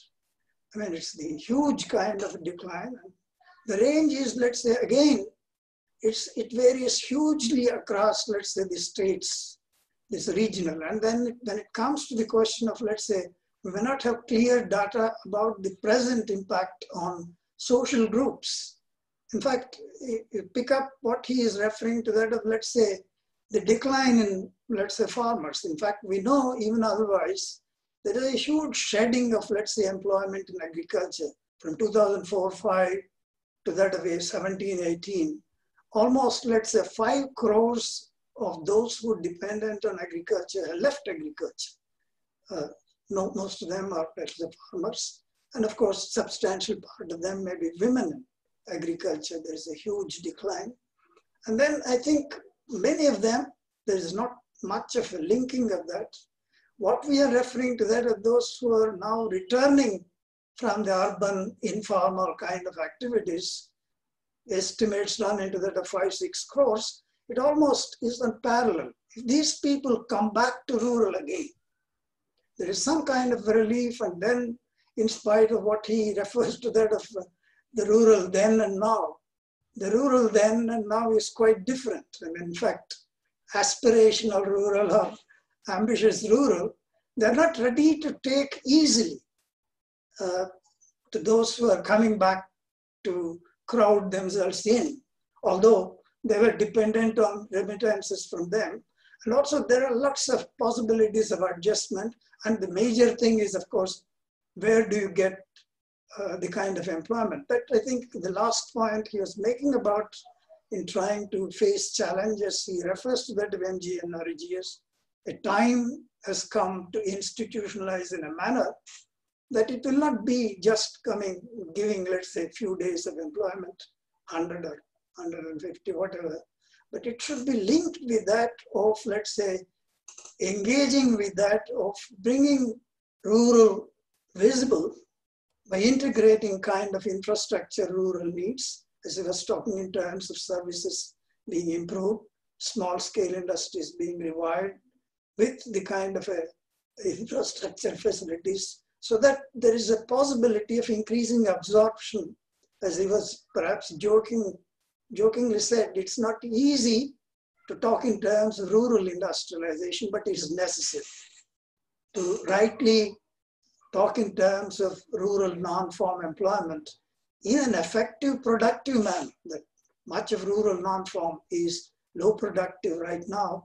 It has to be revived by, let's say, bringing in whatever MSMEs insecure, but they can acquire security with adequate kind of a support systems provided by the state. And in fact, when it comes to agriculture, it is the investment in infrastructure in rural areas.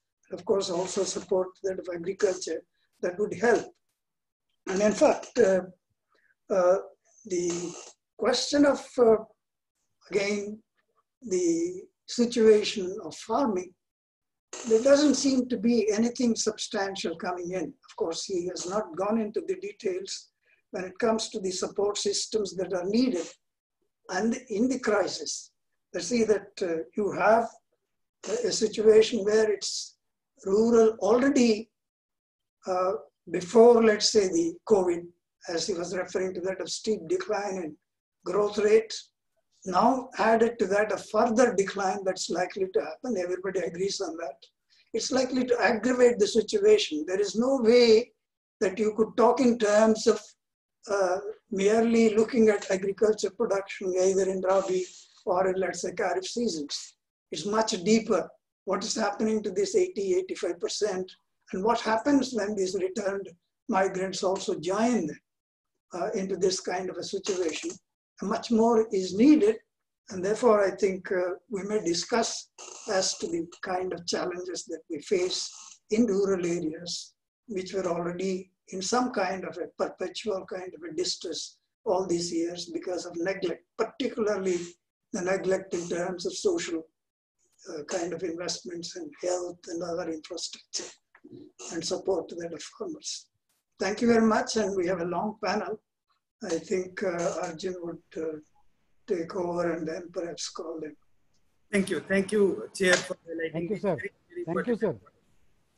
And uh, uh, sir has uh, highlighted this very essential point of institutionalizing Manrega. And uh, sir is also using a very new term that the poverty uh, shouldn't uh, become, you know, asymptotic and, and many new dimensions, many questions are pouring in here. Uh, in last one day, we have more than 700 registration for sir's lecture. And we have full house here also in Facebook, more than 1000 people watching sir live. Many questions are coming. I'm collecting all those. Uh, now we will quickly go uh, to take uh, comments and reflection and if question any from our discussants. And uh, so discussions, I would, uh, in the interest of time, I would request everyone to be brief and uh, and avoid redundancy in, in terms of the, the comments which has been made. so can we have poster?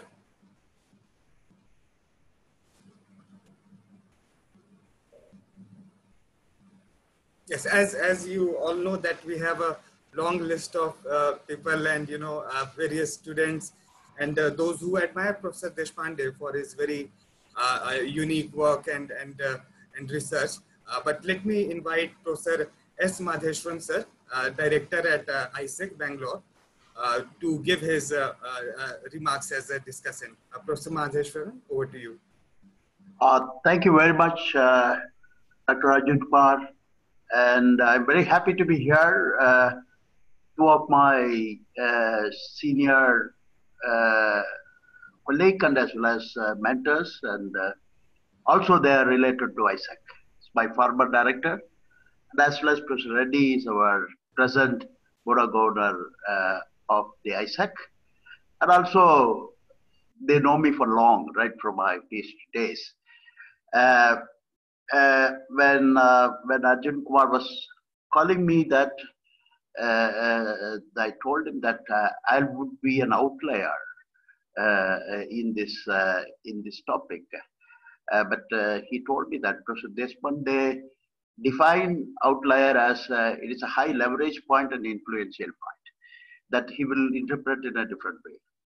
So I accepted and of course, I'm very fortunate enough to hear uh, a very interesting lecture by Professor Deshpande and also a very interesting observation by Professor Reddy. Uh, see, sir, uh, I just will spend some five minutes to uh, instead of uh, talking that you know I just would like to say a few words so that you know Professor Deshpande also will reflect upon it. Sir, uh, basically when we talk about the COVID-19 impact on agriculture, of course, uh, it's it's widely very widely across different regions and among producers and among agricultural laborers. So what we need is that we need uh, at this time government need to put a contingent plan in this place. So uh, uh the impact of uh, COVID-19 on the economy is no doubt devastating and no sector has escaped uh, uh, its impact. Its impact on agriculture is complex and varied across diverse segments that form the agriculture value chain. Uh, even among the different segments, uh, it impacts varies widely among different regions and among producers and agricultural laborers. So the impact will be uh, uh, reverber, uh, reverberated, reverberate across the large economy and will linger long than few months. of course, the problem at this moment primarily related to uh, two things. One is that labor availability, and second is inability to access markets for produce due to issues in transportation as well as operation of markets what I want to put it uh, very succinctly that you know the need of the hour from the from the impact of uh, COVID on uh, marketing of agriculture produce is better. Uh, that you know I would like to hear more from you that you know how do we strengthen the supply chain in terms of uh, uh, in terms of infrastructure, in terms of institution, and in terms of technology at the present day situation, sir. That's what, you know, we are struggling with that. I don't want to give uh, various uh, examples that one word is enough. Of course, you know that uh, uh you have involved uh, uh, your, your own policy of agriculture policy in Karnataka and also your own write-up uh, has gone as an input to the uh, input to the agriculture department to strengthen the market. Of course, we have a lot of models in uh, in, in Karnataka like Agri Varsal by this agriculture university and also uh, this some uh, uh, flat owners association they are motivating and also we have we have very strong uh, Rashtriya e-market service in Karnataka. There is a model in which that, which is emanated from your writings from your agriculture policy. Right now, compared to other states, uh, our Rashtriya e-market service uh, is, uh, is an example which is very strengthened. And of course, there are some attempts by the producer companies and private players to establish e-marketing platform in the state. And uh, this should be supported so that the a aggregation model emerges wherein produce of small farmers are assembled and marketed in a competitive manner. So with this uh, kind of a preamble that I would like to uh, reflect upon uh, how to strengthen the supply chain in terms of uh, what it called mm, in, uh, in terms of technology, infrastructure, and the institutions.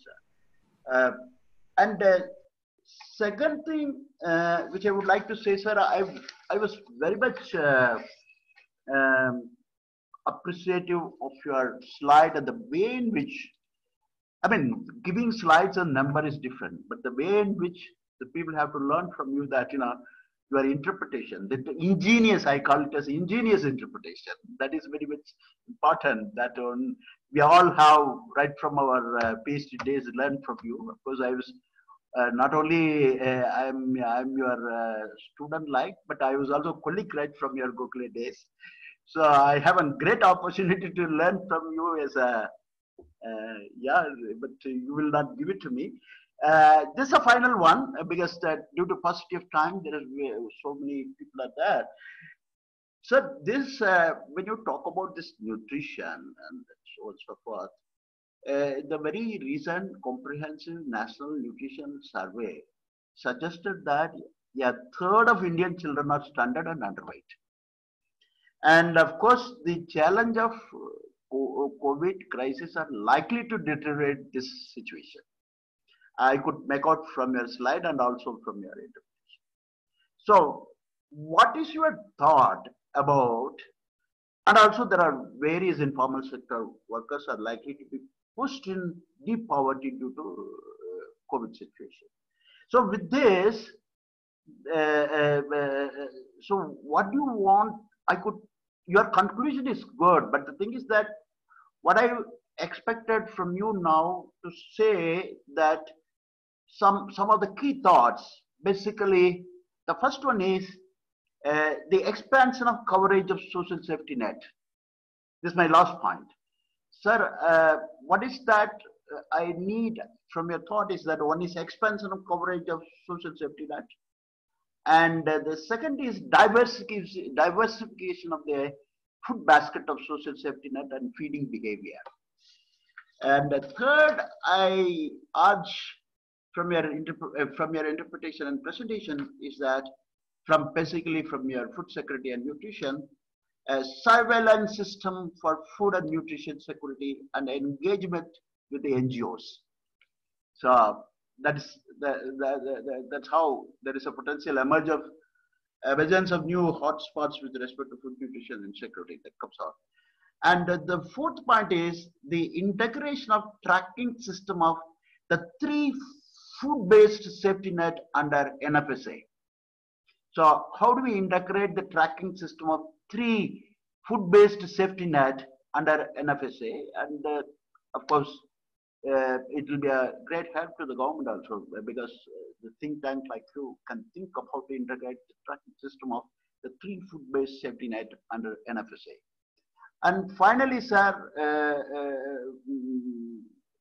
uh, uh, see, you always says and your own writing how to support the agriculture and allied sector that I have learned from you that you know uh, uh, what is the crucial what, what is the emerging concerns in the availability of farm inputs such as labor, agriculture input, machinery, and the finance, uh, so that the farming system continues to run uninterrupted and long-term food security is continuing to be ensured. That's my uh, uh, point. But there are some points uh, which I uh, would like to uh, add, but due to time constraint, I I stop it here because they they just a final point because it has come into my mind. I chalked on when he was writing, uh, sorry, when he was giving a presentation.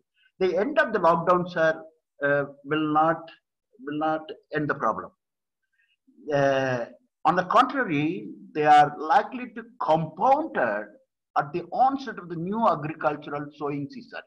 Now, the most important issue that farmers have to surmount is the problem of repaying their crop loan and gold loan at least for those who have borrowed from the farmer bank sector. I just uh, put this and I don't want to talk more about it because you are the authority in this topic. And any failure to do so will mean that they will be forced to borrow money, uh, money from the informal sector, the high rate of interest for the new season. So lack of any relief will only make the agriculture crisis worse. That is basically that is your writing. I'm just bringing back for for the present day situation. So this is my uh, discussion. This uh, your outlier has made a point, sir. And okay, thank you very much, Arjun Kumar, for the opportunity to hear Professor Pandey and also to hear Professor uh, Reddy's observation. It's highly educative. And uh, very fortunately, I worked with Professor Deshpande in a, in, a, in, a, in a small stint at the government in the policy level we used to guide the agricultural allied department for the result framework document of our government. So I learned all these things uh, from the government and also from him. Every time he comes to meeting, he teaches me. And he teaches all the government officials. Uh, so based on his teaching, I'm asking the question to him back now. Thank you. Thank you, Professor Madheshwar. And in fact, uh, we all also learn from you. So I think it's a good Indian culture of learning from all gurus. And thank you for highlighting very pertinent points uh, uh, pertaining to the strengthening of supply chain. From institutional, technical, and uh, also uh, infrastructure point of view, and also highlighting one of the very important uh, national nutrition mission, which Tata Trust was doing with Niti Aayog. And also aspirational district delta ranking they come up. Sir has touched upon those backward districts from second plan to even now. And uh, nothing is as also chair has highlighted that uh, uh, it has hit a, a, a, a, below you know a level and it is not getting affected uh, now i'll quickly go to the uh, next discussion for this uh, session professor sachi professor sachidanand sinha sir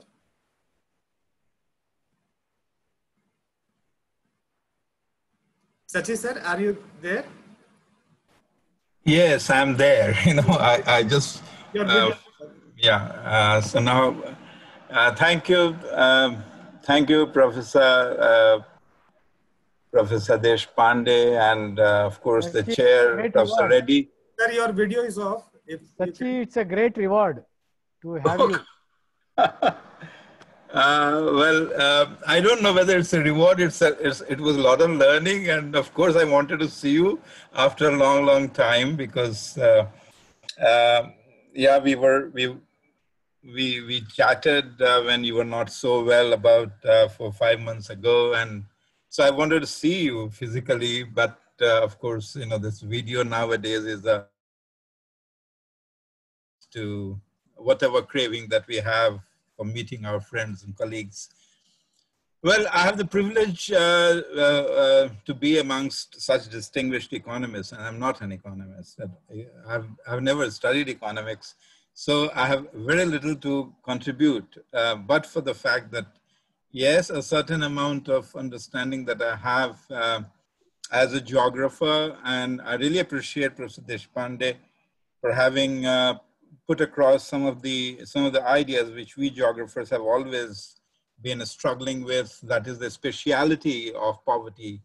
That you know it's not everywhere. It's not all per pervasive. So you've got to really concentrate your um, uh, effort of the state of the government's efforts uh, needs to be concentrated in those areas, those regions where you know they are needed the most. Because if you, if you really try to try to take it to everybody. You know, you were really thinly distributing, and that was a remarkable point. But nevertheless, uh, there can be um, uh, contestations on this particular issue also. We have seen it with targeted PDS and um, and our experiences of various other kinds. But nevertheless, you know, that's something, you know, if we have the will, we will certainly know how to really get through to this. And that is certainly needed. Uh, my uh, basic uh, observations, and these are my observations, uh, kind of a, uh, a certain uh, proposition which I would like to put forward as a geographer for you economists, because you people are the ones who know who really guide the state, guide the government, guide the economy in a very, very uh, uh, significant way. And uh, having lived with economists in the center where I where I start, where I teach, um, you know, I have been a beneficiary in one way or the other. But one aspect which I think, you know, we need to really talk about is the fact that a rural economy and the rural society in the current contemporary situation is seen in terms of sectors which are relevant to uh, how economists value those activities and certainly ignore several others into a kind of a basket which may not be relevant or which may be others. Uh, now, what I really mean to say is the following. That, you know, in my uh, childhood and the way I, I mean, I go to a village almost every year or two, I mean, two to three villages. And uh, what I really see there is uh, that there are several activities which are which people are engaged in increasingly in the past over the years precisely because of the changes which have occurred in the countryside um, in the rural areas not to use the word countryside but in the rural areas primarily as a consequence of you know uh, Uh, changing controls over these resources you know as as a geographer i can tell you i'm coming from bihar you know, the ponds that we have, we had in Bihar were a source of livelihood, may not be a continuous employment, but a source of livelihood for a fairly large number of people in different seasons.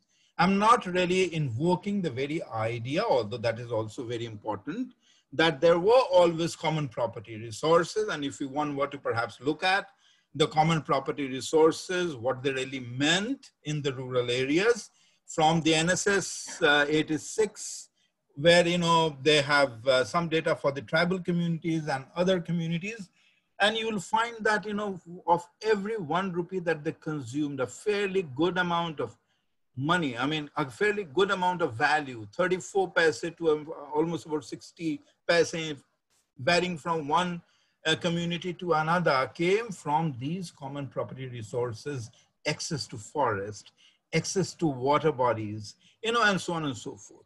The point that I'm really trying to say is that, you know, we in Bihar, I mean, since I know that state and the rural areas better, our water bodies produce various kinds of products. And one of those valuable products is makhana, which in fact has a very high value. Of course, now uh, what we really see is that all those ponds are being filled up. It's not only the ecological services, which in fact is getting affected, but it's also increasingly under the architecture of the technology driven water management system has completely destroyed the traditional system. Not that we have to go back to the tradition and that everything was good with the tradition, but there was something, the indigenous way of managing water. Now this management of water really meant that in the lean season, you know, people had something to depend on and that cycle of interdependence at a lower level of uh, nutritional intake certainly ensured their survival. It did not lead to them becoming absolutely crippled to the extent you know, that we have a kind of a situation in which we find today, where increasingly large number of children are now stunted and and all those examples and all those uh, statistics which which is there for everybody to see.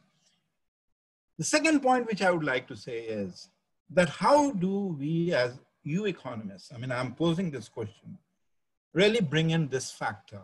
You know, Partha Dasgupta's work on, on environment and well-being is, is uh, uh, bring in, brings in all those uh, um, uh, aspects, and he's an economist.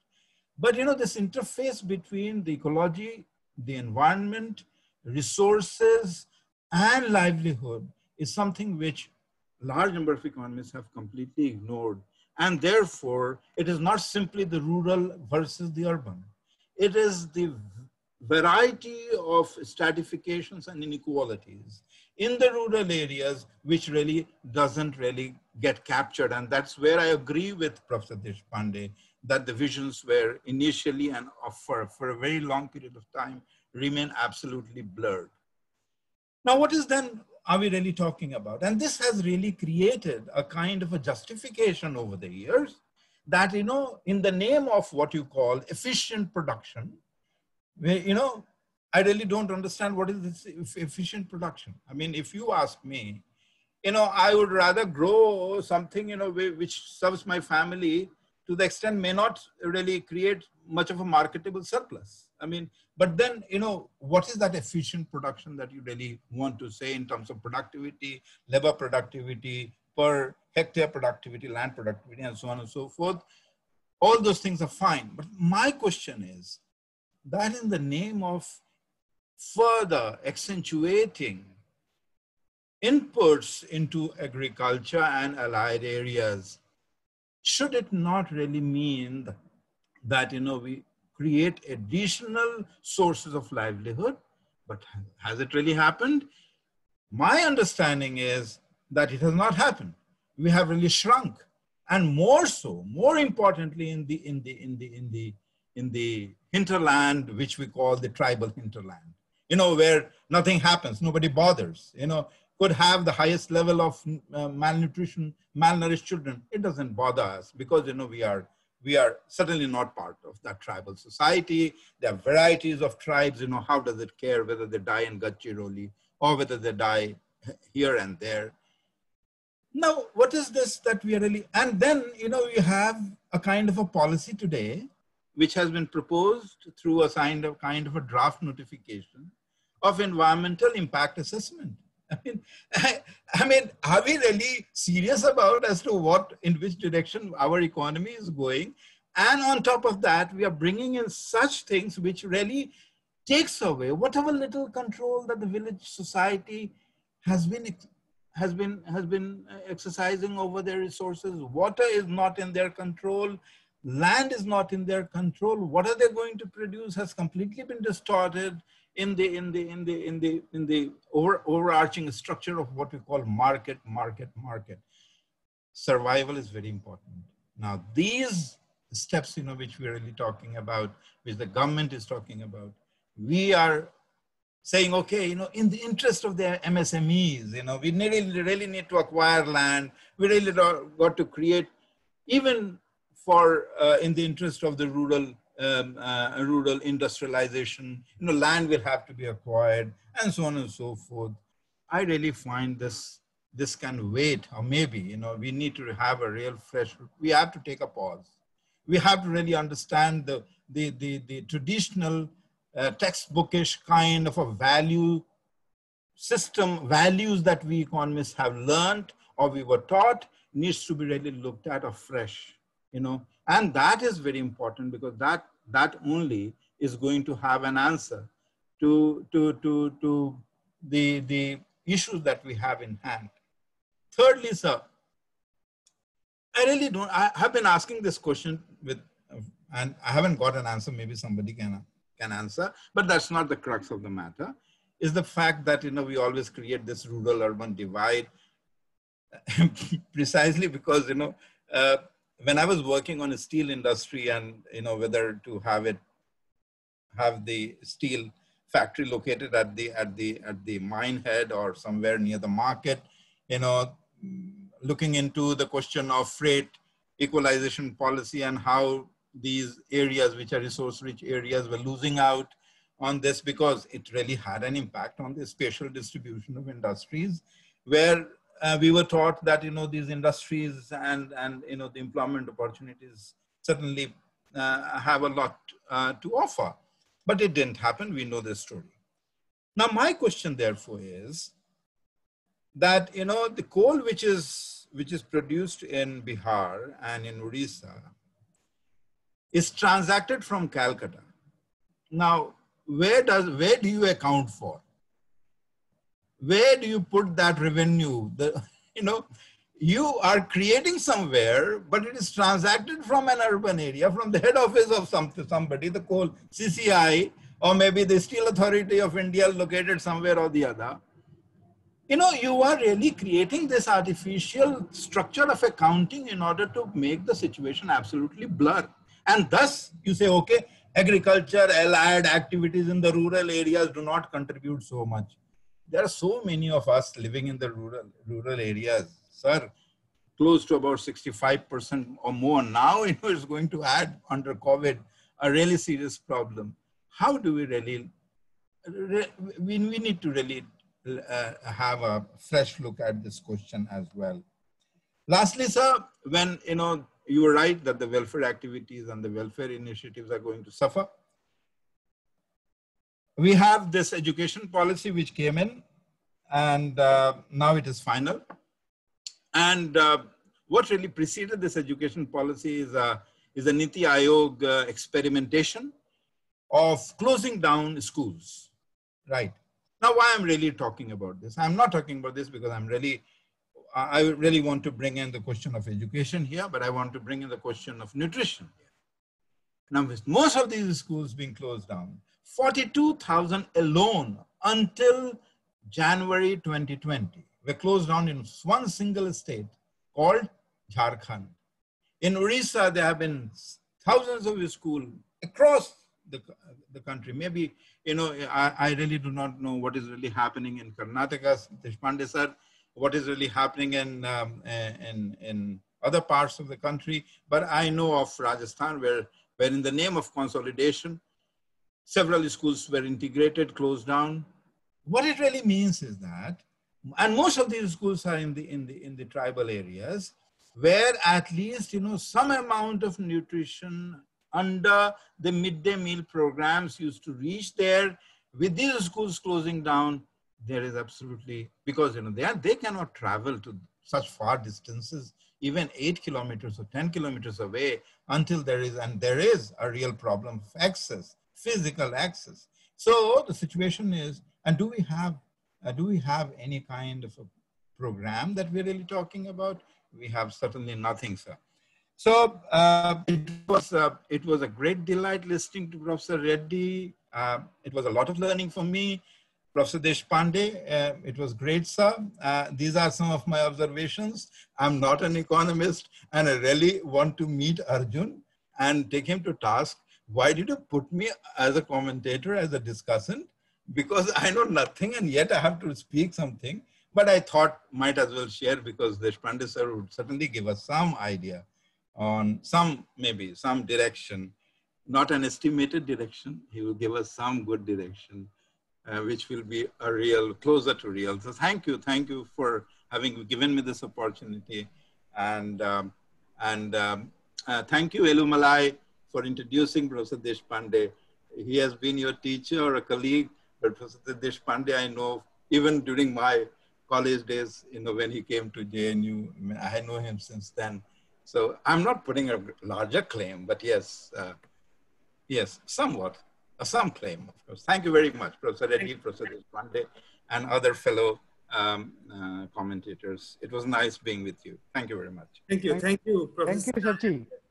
Yes, this is exactly why uh, uh, we invited you because very pertinent points has been raised by Professor Sinha pertaining to uh, common property resource and, uh, you know, e ecology, environment. Uh, moreover, the spatial things that has also touched upon. But most importantly, the nutrition and education part of it from the school education in villages. So these are very pertinent points Sir has raised. Quickly, we will go to our next panelist to Shillong, NEHU, Professor Utpal Kumar De. Professor De is a professor of economics at Northeastern Hill University in Shillong Department. yes, sir, please go ahead. Kindly try to be brief. Yeah, uh, am I audible, Arjun? Yes, yes. I, yes, please. am I audible? Yes. Uh -huh. Uh, thank, thank you, thank you very much. Uh, I am fortunate here that you have invited me as a discussant, and also I am very fortunate to listen to Professor Deshpande here.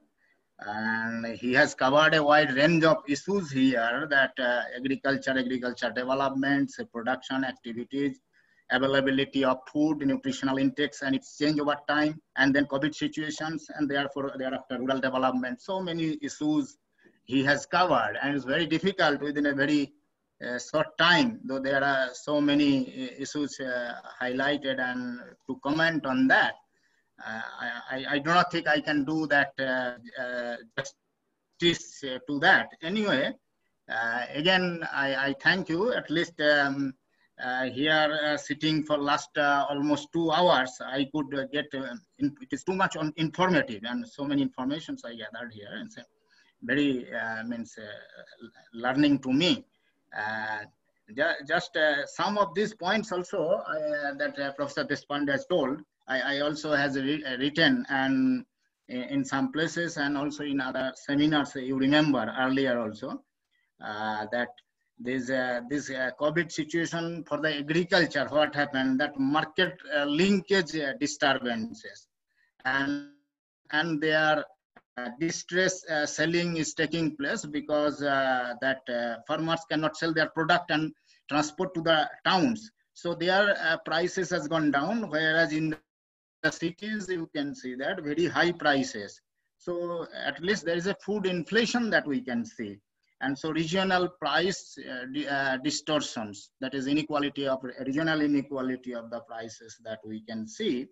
Uh, I, I straight away go, gone to the points that that one, and even uh, that that linkage or the value chains that uh, they are distortion.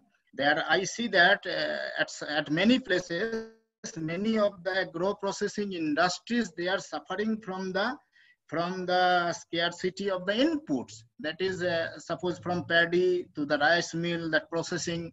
So uh, they have closed down because even though it is said that um, essential uh, items transport is not a problem and it is but many of the um, agro-based uh, or processing industries they run on, on the uh, on the supply of inputs that come from other states also interstate. And even though it is permitted but people are facing huge problem. Now from the side of the farmers of what i see that the demand distress also there it, it is a new type of vicious circle has started operating because the farmers their earning has come down. And once their earning come down their uh, effective demand in the market for several things. And their choices also has been shifted due to various other reasons. I, I, I will come to that later. And and so since they cannot spend on their some uh, essential items that they had to cut down because uh, because you know that recent education policy and online teaching. So people have to buy newer mobiles for example 35000 40000 even though they cannot afford. So earlier they had one but that set of the uh, phone is not working now because in the new situation you, new, you need the new apparatus though they don't have that what you call digital literacy or all these things. That is another adaptation is required. And so they are, uh, whatever, uh, as such, they are low income, whatever they are having, that has also been diverted from some necessary items to other things which became now suddenly necessary uh, to the data pack. So expenditure has, has gone up.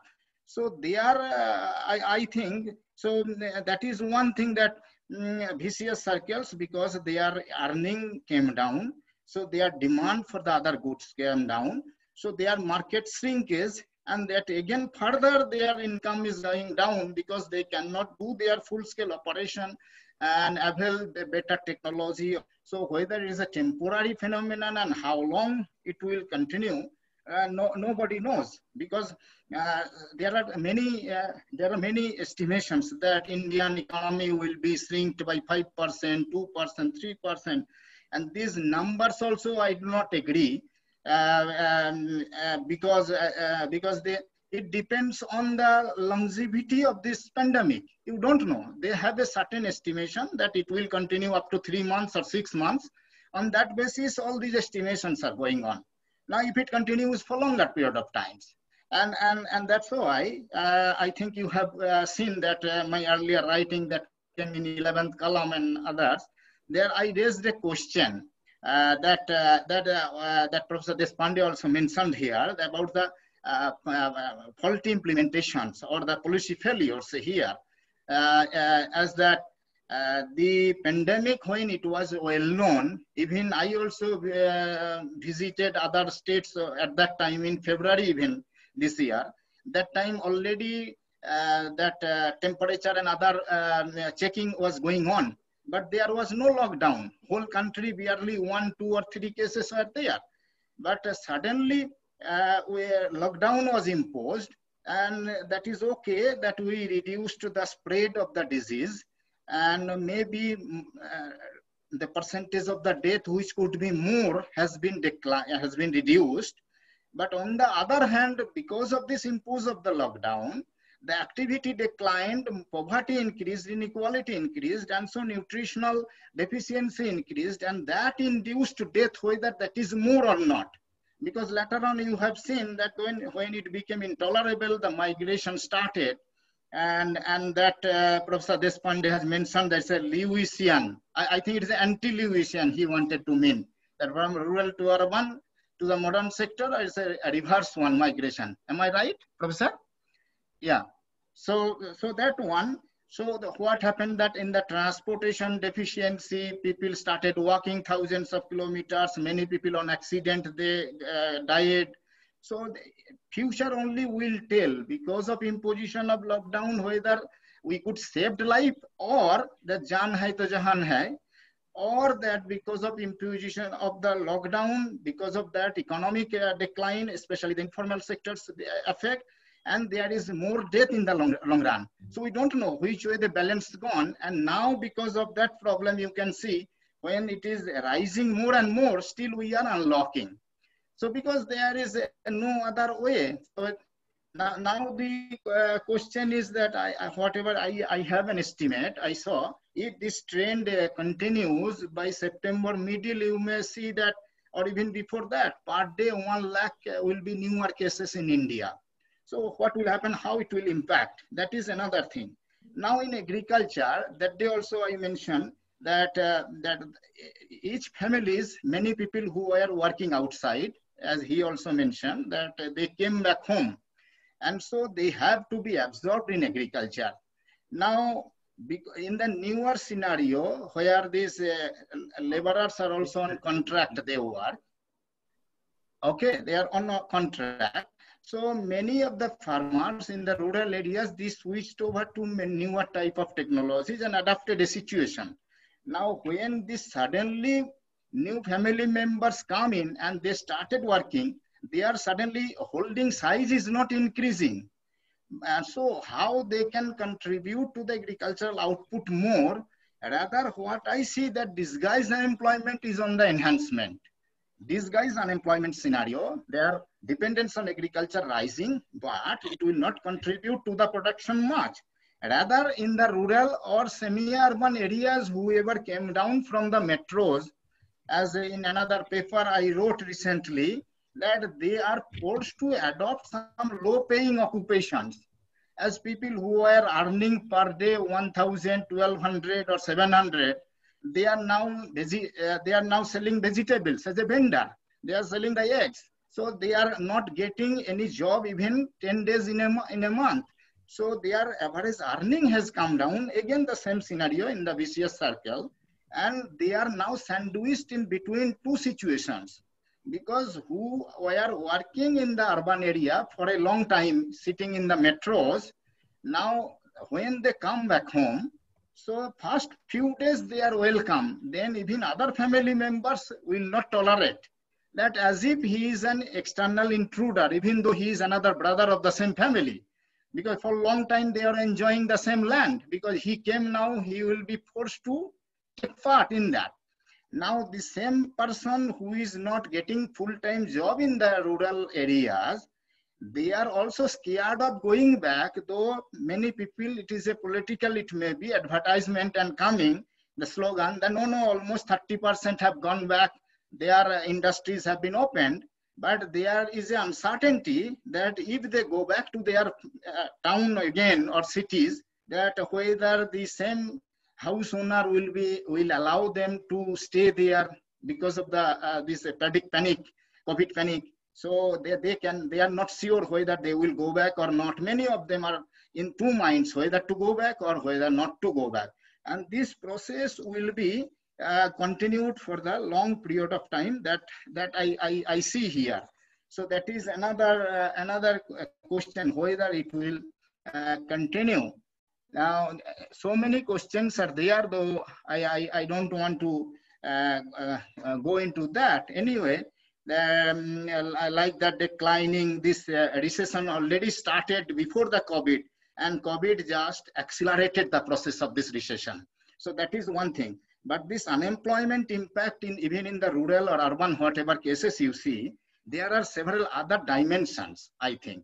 Because what happened that in the last lecture of another university that I said there, that uh, because of the educational differences, the em employment or opportunities or the involvement of the people are different because uh, if you go by the caste, creed or religion differences, the different caste or creed people, SC, STs and others, their involvement in activities also different. The percentage of people engaged in informal sector, formal government job, so you can see that those who are more in the informal, they are more affected. And who are more in the informal, SCSTs, those who are uneducated. So educated and uneducated divide is, has been widened. So that inequality also, not only that, there are social, um, uh, social uh, means uh, segregations have been widened much more in terms of their economic opportunities, you can say. Now, Professor Deshpande has raised a question that universalization of the work, he, he brought here the question of the Manrega. And that uh, is a dent in that um, objective of that work.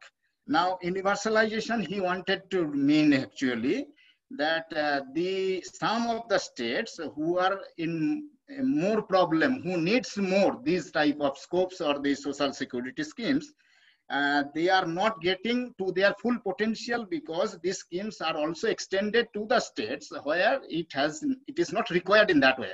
But what is my question is, if you go by the average figure of the state, you get the one scenario. But in those states where you see that on an average, they are in a better position, you, you, that does not mean that all are in the better position. Maybe there is high inequality, all the sources of earning or the livelihood access are accrued to a few individuals and others, uh, many do not have people you may find. Even the solution of this Manrega that, uh, that I, uh, the way it is going now, I am not fully convinced because in Manrega, what is happening everywhere, then whatever assessments are done by the people that you can see, that how much money is distributed. Ah, uh, you want me to shortcut? Yes, yes. You want please, yes. me to shortcut? Yeah, yeah. So you, you, you on two, three points, okay? So uh, you can see there that in Manrega, the how much money is given and how many people got the job. I, I don't say that employment in that way, it's the distribution. Your main purpose of the Manrega was to create the rural resources on which people can survive in future.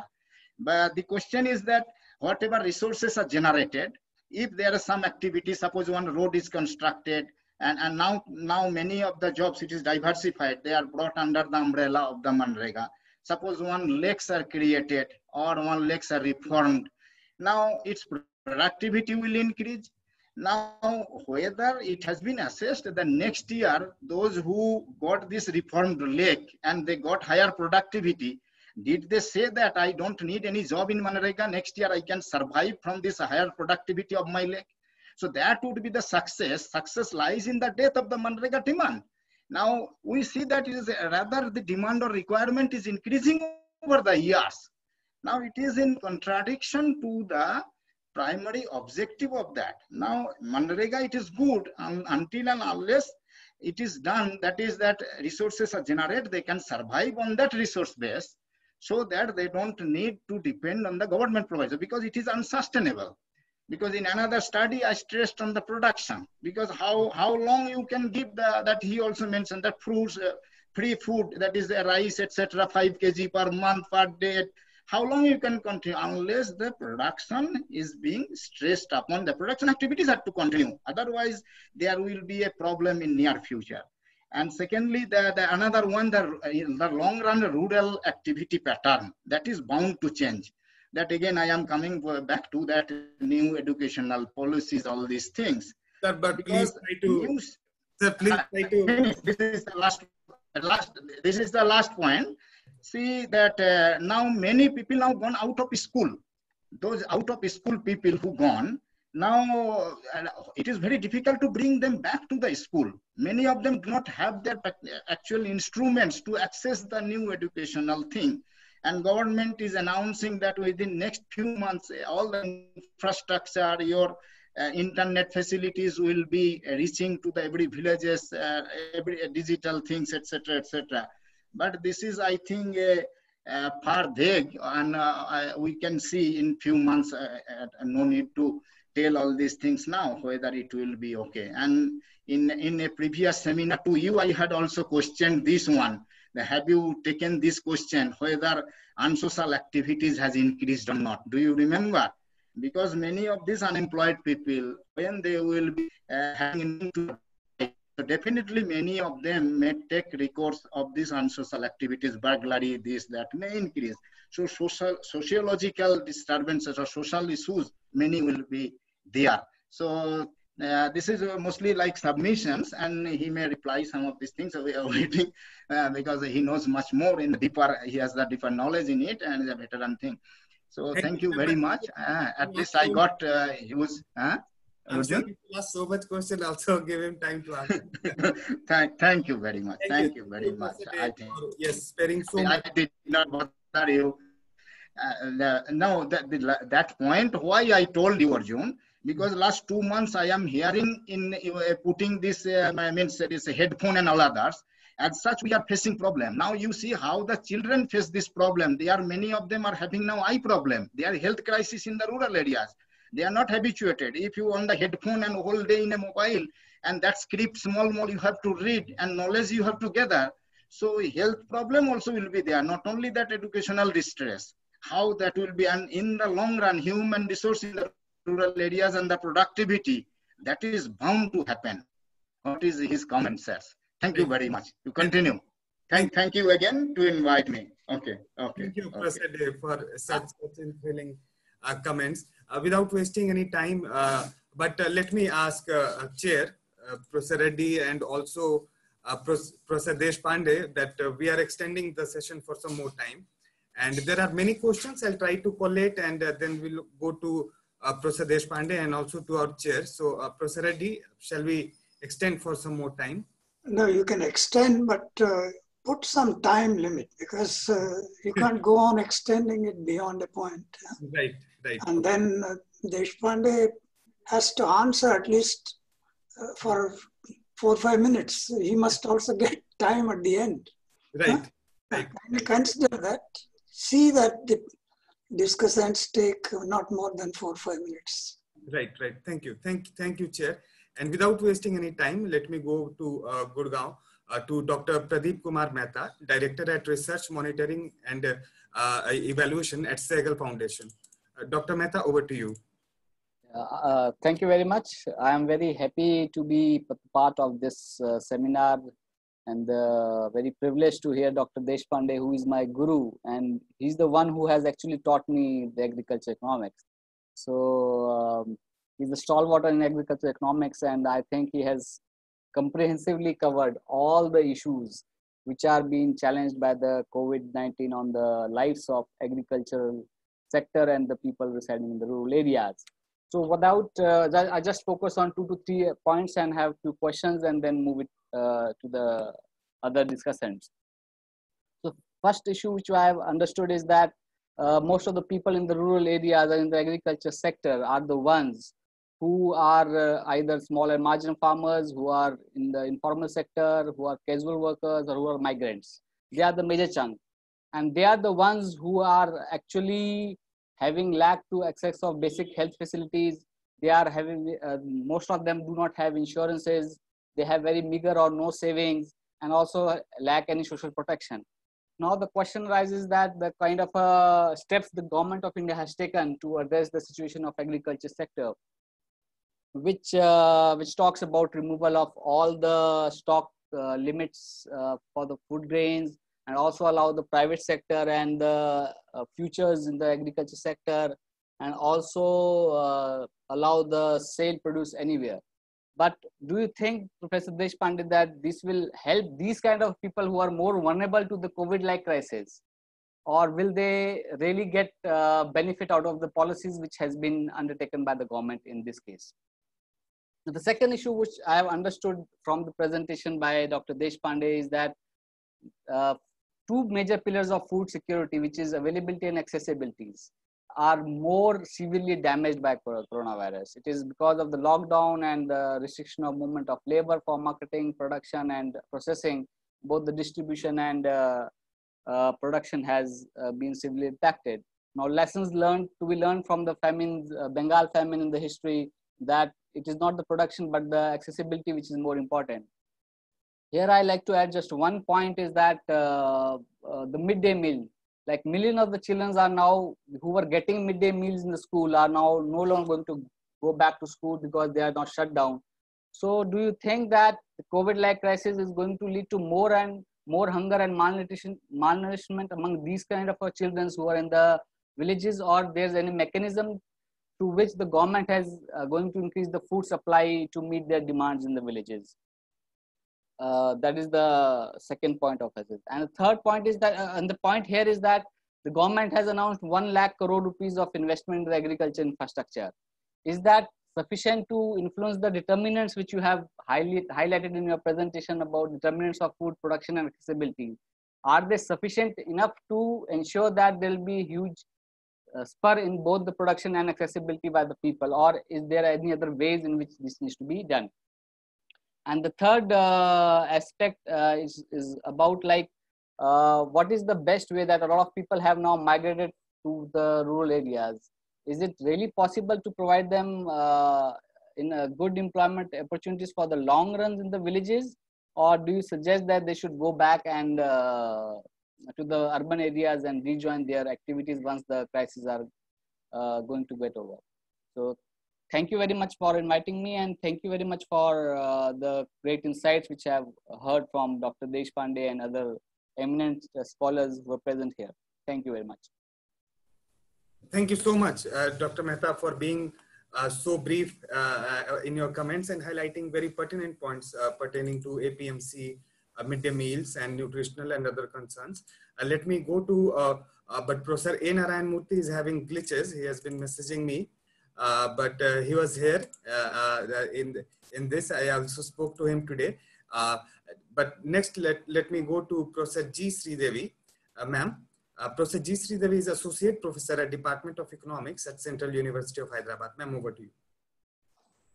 Yeah, thank you very much, Dr. Arjun. And uh, I should uh, say that Professor Deshpande sir has covered all the issues. Uh, and he's my guru who taught us actually the issues of the food security. We have started our research from him. Uh, but uh, uh, I have uh, just three important points to be uh, asked, sir. the first one is we, we have been um, saying that we are food secured in terms of the physical access to food grain. India produced 291.95 million tons of food grains in 2019 and 20.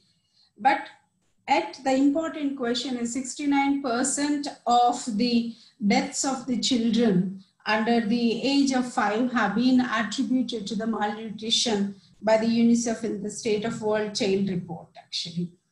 And Global Hunger Index has also ranked India at 102 and position out to one, 117, the lowest in the South Asian countries. Our rank is lower than the Bangladesh and Pakistan, actually, and also Nepal. Uh, so in, in that context, uh, how do we are trying to improve the nutritional security of the uh, children? Uh, because uh, when uh, while Professor um, Professor D.N. Reddy was talking, he said that we are very happy that we are exporting more of rice during the COVID period also. But the other side of the story we keep hearing is that especially at micro level in Andhra Pradesh and Telangana, uh, when we did a small study over the telephones with the ground volunteers of Andhra Pradesh. When Andhra Pradesh government started supplying the 10 kg rice per person during the COVID in the month of April, uh, so if, if a family has the four members, they got the 40 kgs of the rice. But they could not keep all the 40 kgs for their own consumption they kept only 20 kgs or 15 kgs for their consumption and the remaining rice was sold to the middleman at the kg 10 rupees or the 15 rupees. So these middlemen actually try to collect the free rice which was supplied to the uh, the uh, the poor people based upon the white card holders and all that, which is a free rice for them. And it was supplied to the millers. Millers again used it to export it actually.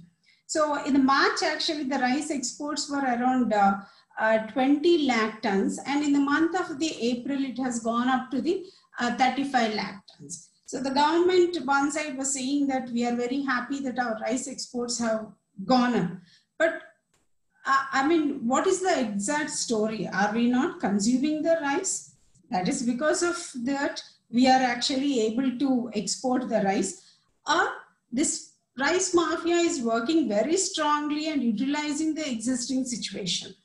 And uh, the, the third important point, uh, whenever we talk about the food security and access to food security, uh, we, we talk uh, always in terms of the prices and incomes, but we, we ignore the important aspect of the inequality, the persistent inequality existing within the various social groups of the society, within the regions, where the majority of the marginalized groups being most affected whenever there is a change in the uh, supply side aspects and the demand side aspects. So inequality is actually major cause of the malnutrition and that inequality also leads to the unequal access to the education, access to food and healthcare, which actually push them to be remained in a perpetuating uh, a, a, situation of the vicious circle of the uh, poverty. And the third, the Andhra Pradesh government and Telangana also for few months, they started supplying the cooked food through Anganwadis uh, to most of the uh, villages for the children below five years to reduce the malnutrition impacts.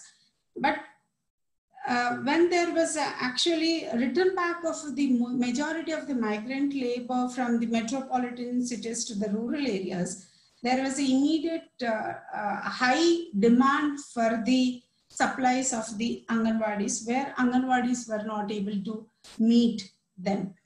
And uh, the, the other important aspect is even through Anganwadis, when supplies are taking place, there are different Anganwadis for different social pockets. Like uh, in one of the village, we came to know that for scheduled caste households and for scheduled tribe, there is one Anganwadi which will be supplying them. And for the Reddys and the other OBC caste group, there is another Anganwadis. So in, in terms of the uh, state support policies, also we see a, a perpetuating existence of the uh, discrimination in terms of access to the resources. So I, I, I shall be very happy if Sir can comment on these things. And I also one more last thing because the central government is insisting on a one card and one nation. But whereas the Orissa government and Chhattisgarh, they are not very much uh, favorable to accept that. Uh, and also, I also feel that like Andhra Pradesh and Telangana government gives the free rice to the Antyodaya and also rice is supplied to kg 1 rupee for the white card holders. But when we are saying one card and one nation can be able to uh, meet the local requirements of the people uh, because Telangana is actually thinking to reduce the malnutrition to go for the cooked millet food in Anganwadi section. They wanted to supply the hot millet food uh, within the maybe two, three months, they have been planning to include that. And also Andhra Pradesh government has also included the uh, til in their uh, cooked food as well as the egg, everyday egg and milk will be supplied to the children to reduce the malnutrition. So with one card, one nation, one market can be able to reduce the hunger, uh, especially within the women and marginalized groups. Thank you, Arjun. Thank you so much. Thank you. Thank you, Professor Sridevi, for highlighting these points from uh, Andhra Pradesh and Telangana point of view. Very pertinent points ma'am has raised. Uh, will not, I, I, I am sure uh, Professor Deshpande will touch upon uh, those issues. Many of those issues are also coming in many comments and questions. without wasting any time, I will go to uh, uh, Bangalore again to Professor Amalendu Jyotishi. sir is a, a at a professor at School of Development at Azim Premji University, Bengaluru. Sir, over to you. Thank you, Arjun. And uh, I, I, was just uh, being one among the last among the discussant. The benefit is that uh, you have lesser and lesser points to indulge into, but uh, it is it requires uh, mm, the wisdom and uh, deep knowledge and engagement of the subject and a stature of Professor Deshpande, who, who can dwell into the topic of agriculture, food security, and uh, uh, rural development seamlessly and uh, telling a telling story to all of us. And, uh, and particularly his engagement, deep engagement with the policy itself kind of brings out the nuances in a way that uh, as an academics, we fail to see some of those points. So I would be, uh, so the good part of it is that uh, because the topics are fast, so you can pick one of the threads and then uh, be a discussant on, on one of the topics. And I was generally interested in uh, the food security aspect of it. Uh, and uh, thanks that Dr. Sridevi has already highlighted some of the points. So I was specifically interested in this food and nutrition security particularly because that's how Professor Deshpande highlighted the points and whatever reports that we see, it's a global uh, nutrition report of 2018 or global hun hunger index of 2018 or 20, you will find that India's position is absolutely poor. And some of the factors which are also leading to this um, um, uh, malnutrition that we would be seeing is that uh, uh, the, like stunting or wasting or whatever way we try to look at it, you will find that uh, uh, if, very few nutrient factors which are critically important in the food, uh, food composition or food basket composition. And um, like for example, anemia that we are seeing is one of the biggest killer or even the for that matter, safe drinking water itself is one of the major reasons for um, a lot of children dying uh, below the age of five. so, uh, so the politics of food security that if you look at it, that uh, it is taken long time even in the policies to bring food and nutrition security as one component.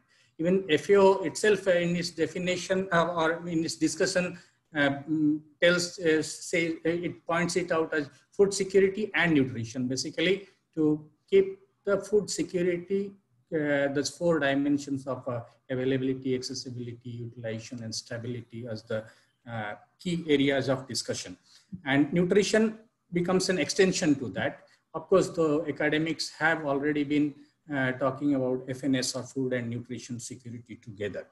So in this context, um, I thought uh, is not it important that uh, there is a requirement for a slight, you can say tectonic shift from the availability dimension, that is the uh, just composition uh, or uh, production side of it to move more into the uh, mm, uh, consumption as well as the value chain or distribution side of the story.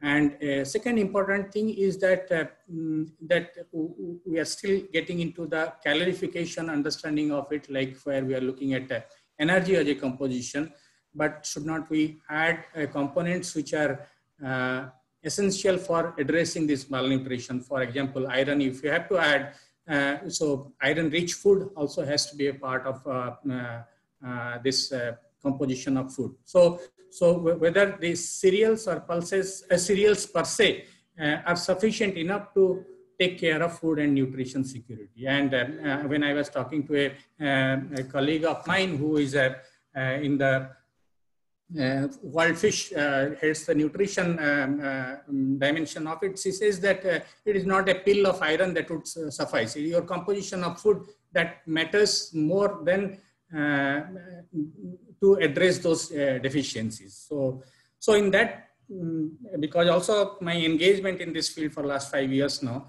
that I see a, when we are talking about agriculture, uh, food security and rural development issues, we are leaving out a big chunk of population in the coast uh, who, who are engaged in fishing activities and that fish reaches in some or other way to, uh, uh to the hinterlands. And of course, also in the hinterlands, like uh, Professor Sinha was also telling that uh, a lot of people depend on this wild catch in the riverine or estuarine fisheries. So and these land are contested land so or, or, has been made contested with varieties of conflicts varieties of people coming into it and and that makes uh, many of them vulnerable the fishing community particularly uh, is being a lot uh, vulnerable and uh, in, and this fish uh, in fresh form or in fact dried form it reaches to a place called Jagiroad in uh, near in assam uh, which is one of the largest dried fish market in India.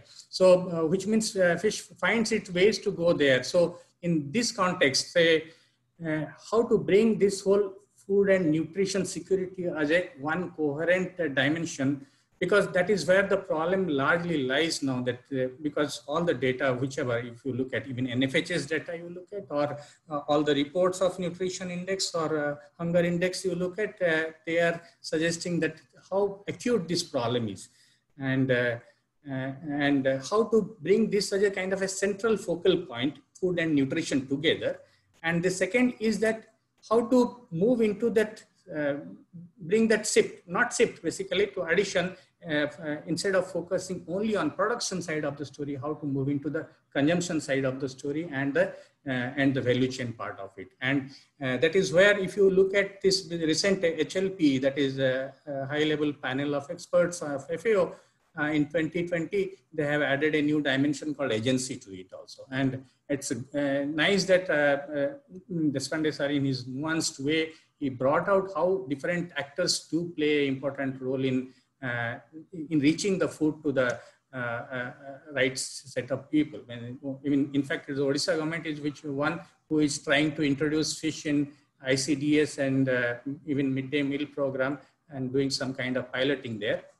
So uh, mm, so the point uh, that uh, possibly I would like to make or a submission that I would like to make is that in this agency, I think we have to recognize some of the wonderful work that has been done by ASHA workers who was the last mile connect, connection between uh, mm, the, mm, the hung, hungry or the people who are needing that food and nutrition and the food that is available or being uh, made available.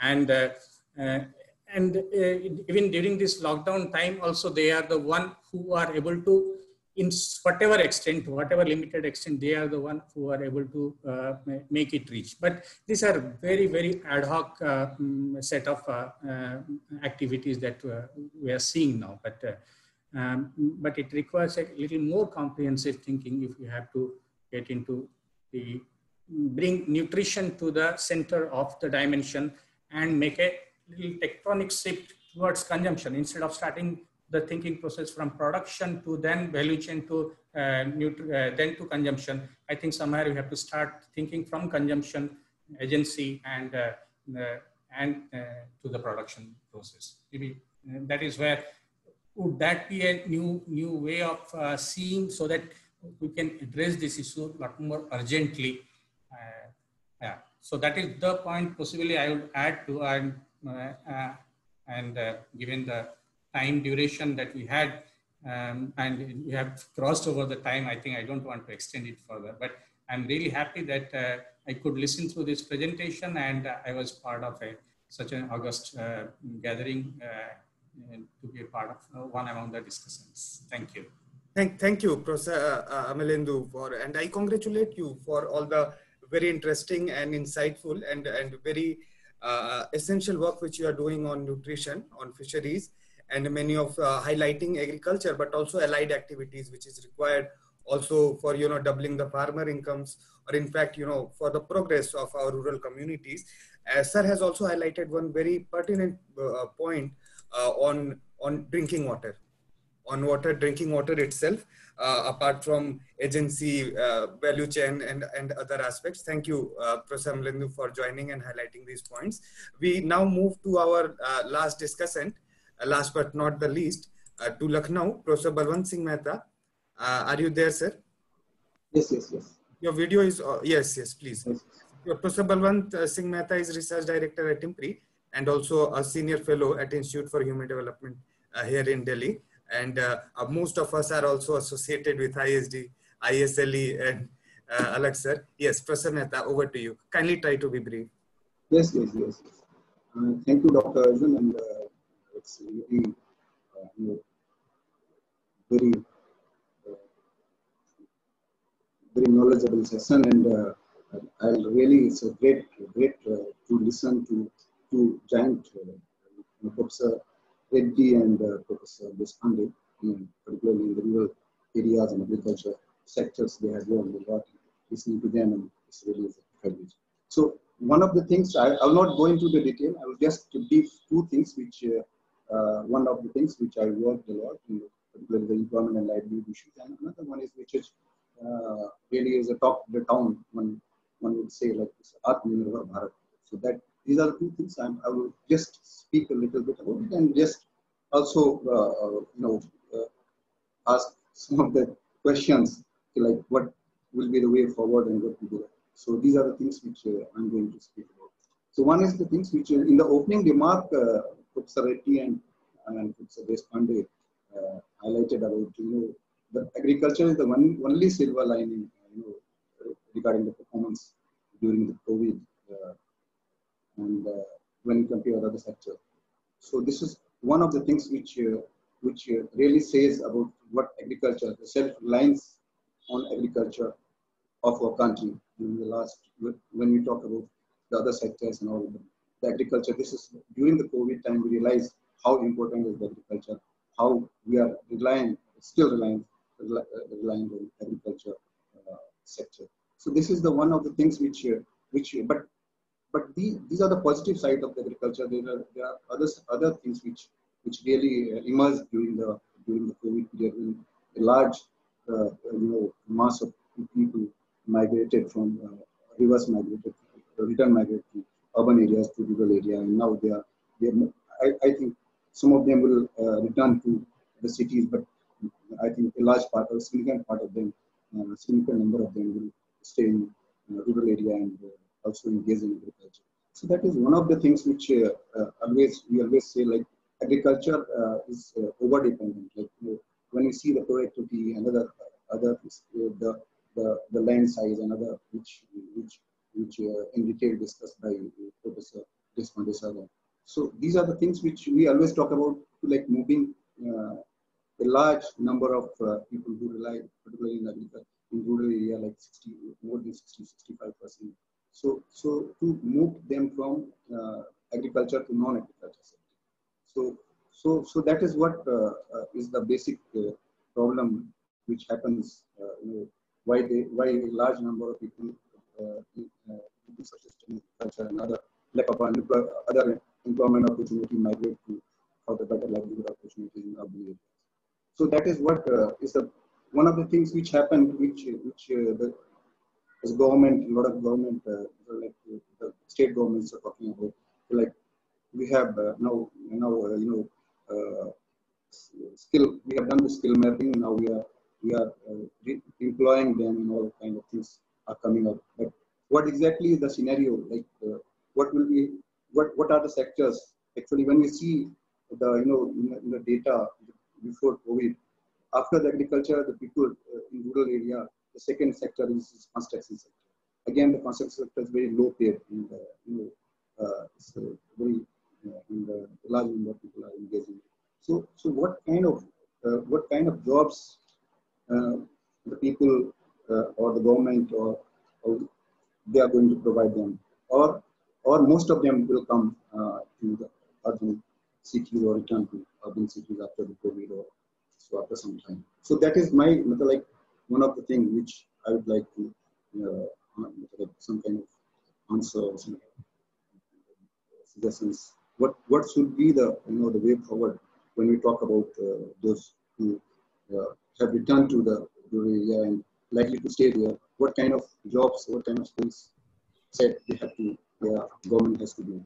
So the second question is, like, you know, the, the government is talking a lot about this Atmanirbhar, self-reliance, and, uh, and know, if you say the, about the relief package, you know, uh, mainly focus on the rural agriculture, in agriculture, like you know, one is form, formation of micro food enterprises and cluster-based uh, farming uh, clusters, PM Matsya, uh, uh, Sampada Yojana, and uh, marketing reforms, and uh, you know, essential commodity act reform, a lot of other things uh, uh government uh, is really highlighting about, and, and even the, if you talk about the rural economy as whole, uh, as uh, our previous speakers, all speakers said about like high inequality, low skill level, and high poverty, uh, all kind of things. And the food security problem, nutrition problem, all these kind of things. Like uh, particularly when we say like there is Garib Kalyan Rozgar Yojana, the government has pumped around 50 crores rupees and in, enhanced the NREGA's ways and uh, PM Kisan is around 9.9 crores farmers have benefited out of it. And even cash transfer to rural women uh, through Jan Dhan Yojana, Jan Dhan accounts. And, they have done more than 60 plus millions return migrant skill mapping. So these are the, some of the things highlighted, uh, highlighted and some of the things reported by the government. Like they are claiming like the huge uh, reform and huge, uh, uh, like this will be the silver lining for the agriculture sector, this COVID in the, in the future. So, so this will dramatically can change this this period if if really implemented properly and these things and all. So what I, I just uh, want to say some kind of reflection on this, this issue also. So these are the two things uh, I will stop here and, uh, and thank you, Dr. Arjun again for inviting me. Thank you. Thank you, uh, Professor Mehta, for highlighting these very pertinent points from policy. Uh, Atmanirbhar Krishi is something what, uh, uh, uh when, uh, you know, the, the, last Sunday, Prime Minister also transferred around 18,000 crore rupees to 8.5 crore farmers from the NABARD portal. And the hashtag was Atmanirbhar Krishi, that, that was being highlighted. And many schemes, sir, has raised here. And uh, I'm, I'm sure that Professor Deshpande will look into it and uh, assess and also tell us that whether we are going in right direction or what all can be the remedy towards the way forward. So uh, without wasting any time, uh, Professor Deshpande, we are going to you. I'm collecting all the questions. We have many questions. I'll club them. And then as and when I'll, I'll, I'll pose it to you, you can choose to answer and reflect upon all the suggestions which we have combined. Uh, so over to you, Professor Deshpande. Thank you. Thank you very much. I think uh, the uh, I have also noted down the questions, uh, but I would uh, rather go by you because you are quite busy in writing. Uh, last, uh, mm, Professor Balwant Singh Mehta's audibility was extremely problematic. I was not able to hear. one thing I can tell you that the questions are I, I, I, saw 11 persons have asked questions on their question, mm, your response thing. There are three important things which I felt. Number one is universalization vis-a-vis targeting. I've been always in the favor of targeting for the reason that universalization creates more when I do not need it. And if you are forcing it onto me, I take it and then I sell it in the, what uh, Professor Sridevi told, I sell it in the black market. My maid servant does that. She gets 40 kgs of rice, she sells it because uh, she doesn't need it. Every week 40 kgs, one doesn't need it. The, the thing is, therefore, I'm in favor of uh, targeting rather than universalization. Second thing, which uh, question came from Nirupam Malhotra, a very uh, high level officer in NABARD about the new ordinances about market. This should have been long back. But then understanding the market, and I, I, I think Sachi, Sachi told about market, market, and market. Uh, true, understanding the market, economists have not done it. In fact, economists learned about market from Cambridge and Oxford their behavior of market is totally different than my behavior of market. If I, an educated person, enters the APMC yard in order to sell, say, my 22 uh, quintals of ragi or 20 quintals of ragi, I know what kind of things I face. Our markets, and that's what Sridevi also has said, that our markets are behaving differently. We have a large number of operators in every market. I, I tell you in academics too, in academics too, let the vice chancellor's post be advertised and the market is established. And there are operators, there are people who will take this side, that side. We, and that's what uh, I remember, and I should, all of us must remember Dr. Ambedkar who said that we are imposing democracy on a country which is culturally not democratic which is culturally hierarchical.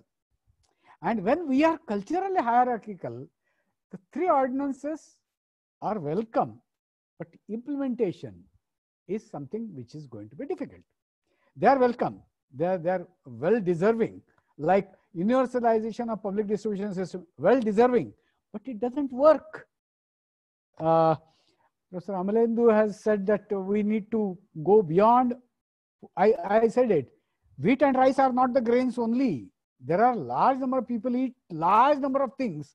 And uh, Professor Nitin's uh, uh, field work we found that the tribals who stay far off from the uh, towns are nutritionally better. The tribal, tribal children who stay far off from the towns are nutritionally better. So also in Sridevi's fieldwork.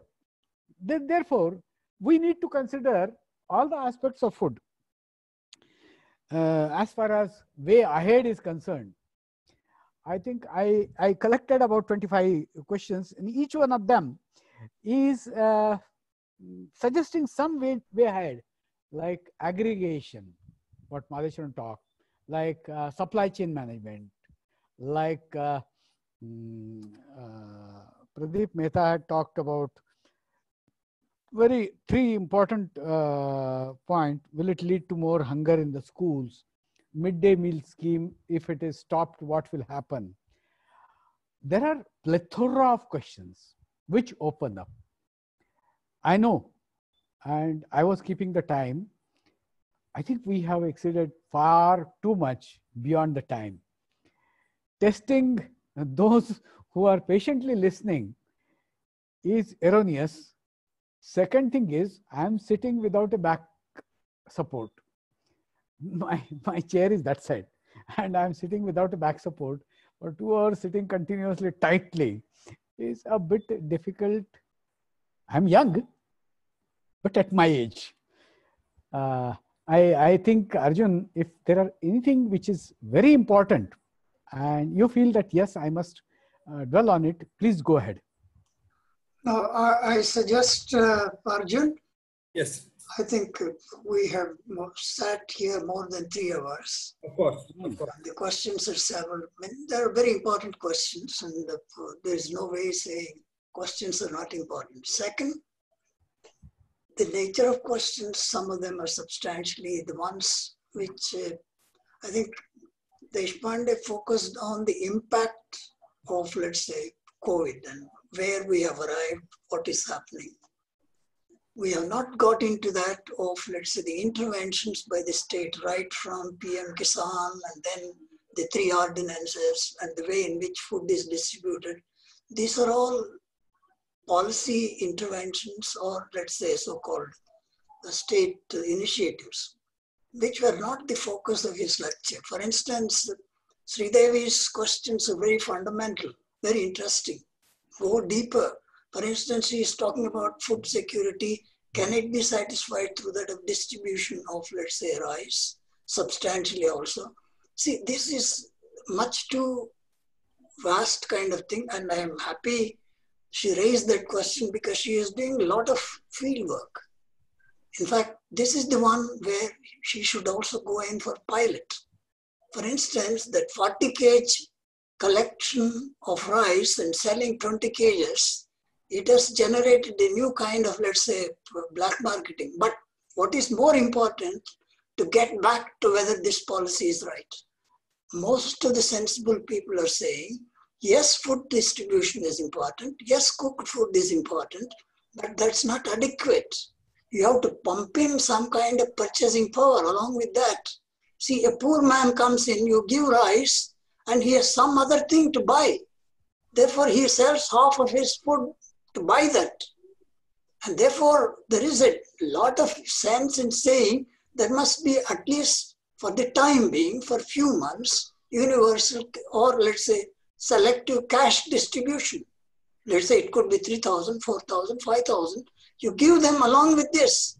Otherwise, they will sell their whatever they're getting it. Next five days, they will not have any food. This is going to be the question of hunger, and people are talking in terms of inflation and food market. All this will happen. And the kind of ordinances passed, they take time. We are talking in terms of immediate attention and not, let's say, medium term or long term policies. So, therefore, these issues are not being brought onto the agenda of discussion here, but the impact is discussed. And therefore, you have to, let's say, uh, I think uh, you could see from the numbers, more than half of them left. And those who remain, I see 52 is the number, I must thank them because extraordinary patience is needed.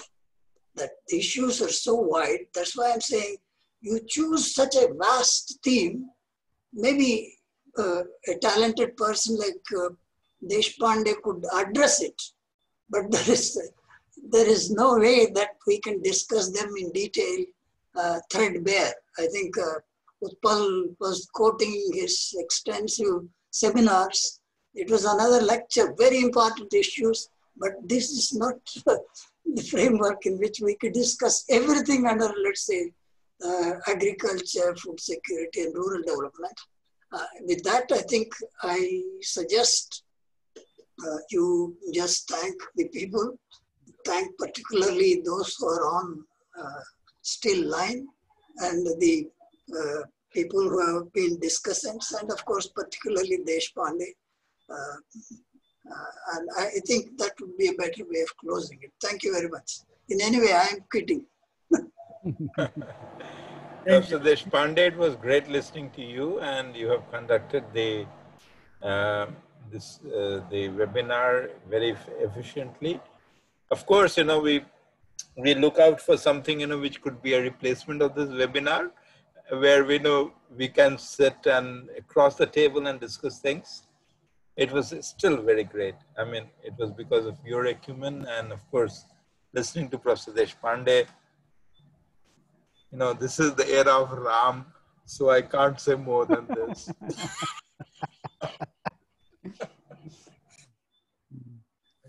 Thank you. Thank you, Professor Sinha. And uh, what we will do that we will collect all the questions from here.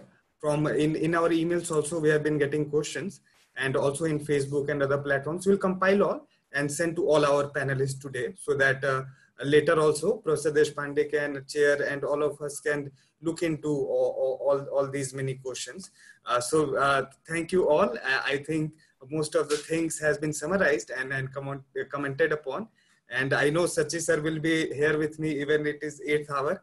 that is the training we have been getting in JNU to, to sit, listen and reflect upon uh, this kind of deliberation. Thank you once again, uh, uh, everyone. And now I, I should formally uh, uh, give a vote of thanks, thanking all of you uh, for being here. so on behalf of Impact and Policy Research Institute, I thank all of the panelists and all of the viewers and attendees here in Zoom, Facebook Live, and all, all of those who will be watching this on YouTube at your own convenience and reflect upon the issues uh, which our uh, uh, intellectual and our teachers are suggesting us and showing us the direction and reflecting upon what is going on. Uh, let me uh, really thank the speaker for, the, for this very important lecture on agriculture, food security, and rural development amidst the COVID-19 pandemic, insights, concerns, and the way forward for Indian villages uh, by none other than Professor R.S. Deshpande, uh, a, a, very honorable uh, intellect of our country and uh, I would say a superstar uh, in economics, I, I, must say. And uh, then let me thank Chair for our discussion today. Uh, uh, Professor uh, D.N. Reddy. Thank you, thank you, sir. And I know this is this has been very long, but let me thank you for your very nice coordination and chairing this session. And let me also thank all of our discussants and also those who have not been able to come. Uh, Professor um, and Professor Sinha, Sachidanand Sinha, uh, Uh, Professor Utpal De, uh, Dr. Pradeep Mehta, uh, Professor A. Narayanamoorthy was also trying to uh, connect a lot of times. Uh, uh nevertheless, uh, Professor G. Sridevi, thank you very much, ma'am, for on a very short notice coming and highlighting very pertinent points.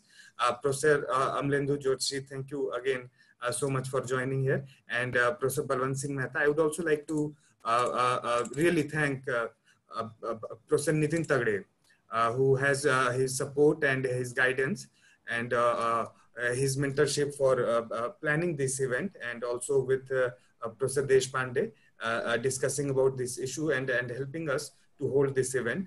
thank you, Professor Nitin Tagade from Pune. And, and I would like to thank all of you and wish you a very good evening. And I think we should ponder about this issue more and, and learn upon it. And on that note, I would also like to uh, invite all of you to reflect upon any comments and question which has come uh, in our email. Uh, thank you. Have a, have a very good evening. Thank you. Thank you, Arjun. My uh, uh, students from 10, 20, 20 years back, students had joined and they had asked Priyabrata Mandal was there, there Nirupam Malhotra was there, uh, the, the, the, the Uday Saikya was there. All of them are abroad, and I feel quite happy that they they also joined. Uh, I'm happy that Arjun has conducted this very well, and the pleasure was to meet Sachi after a long time. Thank you, Sachi. Yeah, great, sir. Great. You know, it was it was it was a delight listening to you, always, as ever. You know, so yeah. I wish I could come over to Bangalore and see you. It's Thank you. really lovely to see you uh, on physically seeing you and physically listening to you. That was the biggest attraction, I would say. Uh, and this is your love that attracts all all these people who are coming and listening to you. But Amalendu, you are in Bangalore. You can walk up to him, yeah. Uh, he is in Puttur. He is in Puttur. He is on the. Come and see him soon. Thank you. Thank you, Arjun. Thank you very much. Thank you, sir. Have, have a good Thank evening. you. Great, sir. Great. Take Great, care of Professor Deshpande. Great, everybody. Professor Bye-bye. Mehta, Amalendu, everybody. Thanks. Thanks a lot. Bye. Thank you.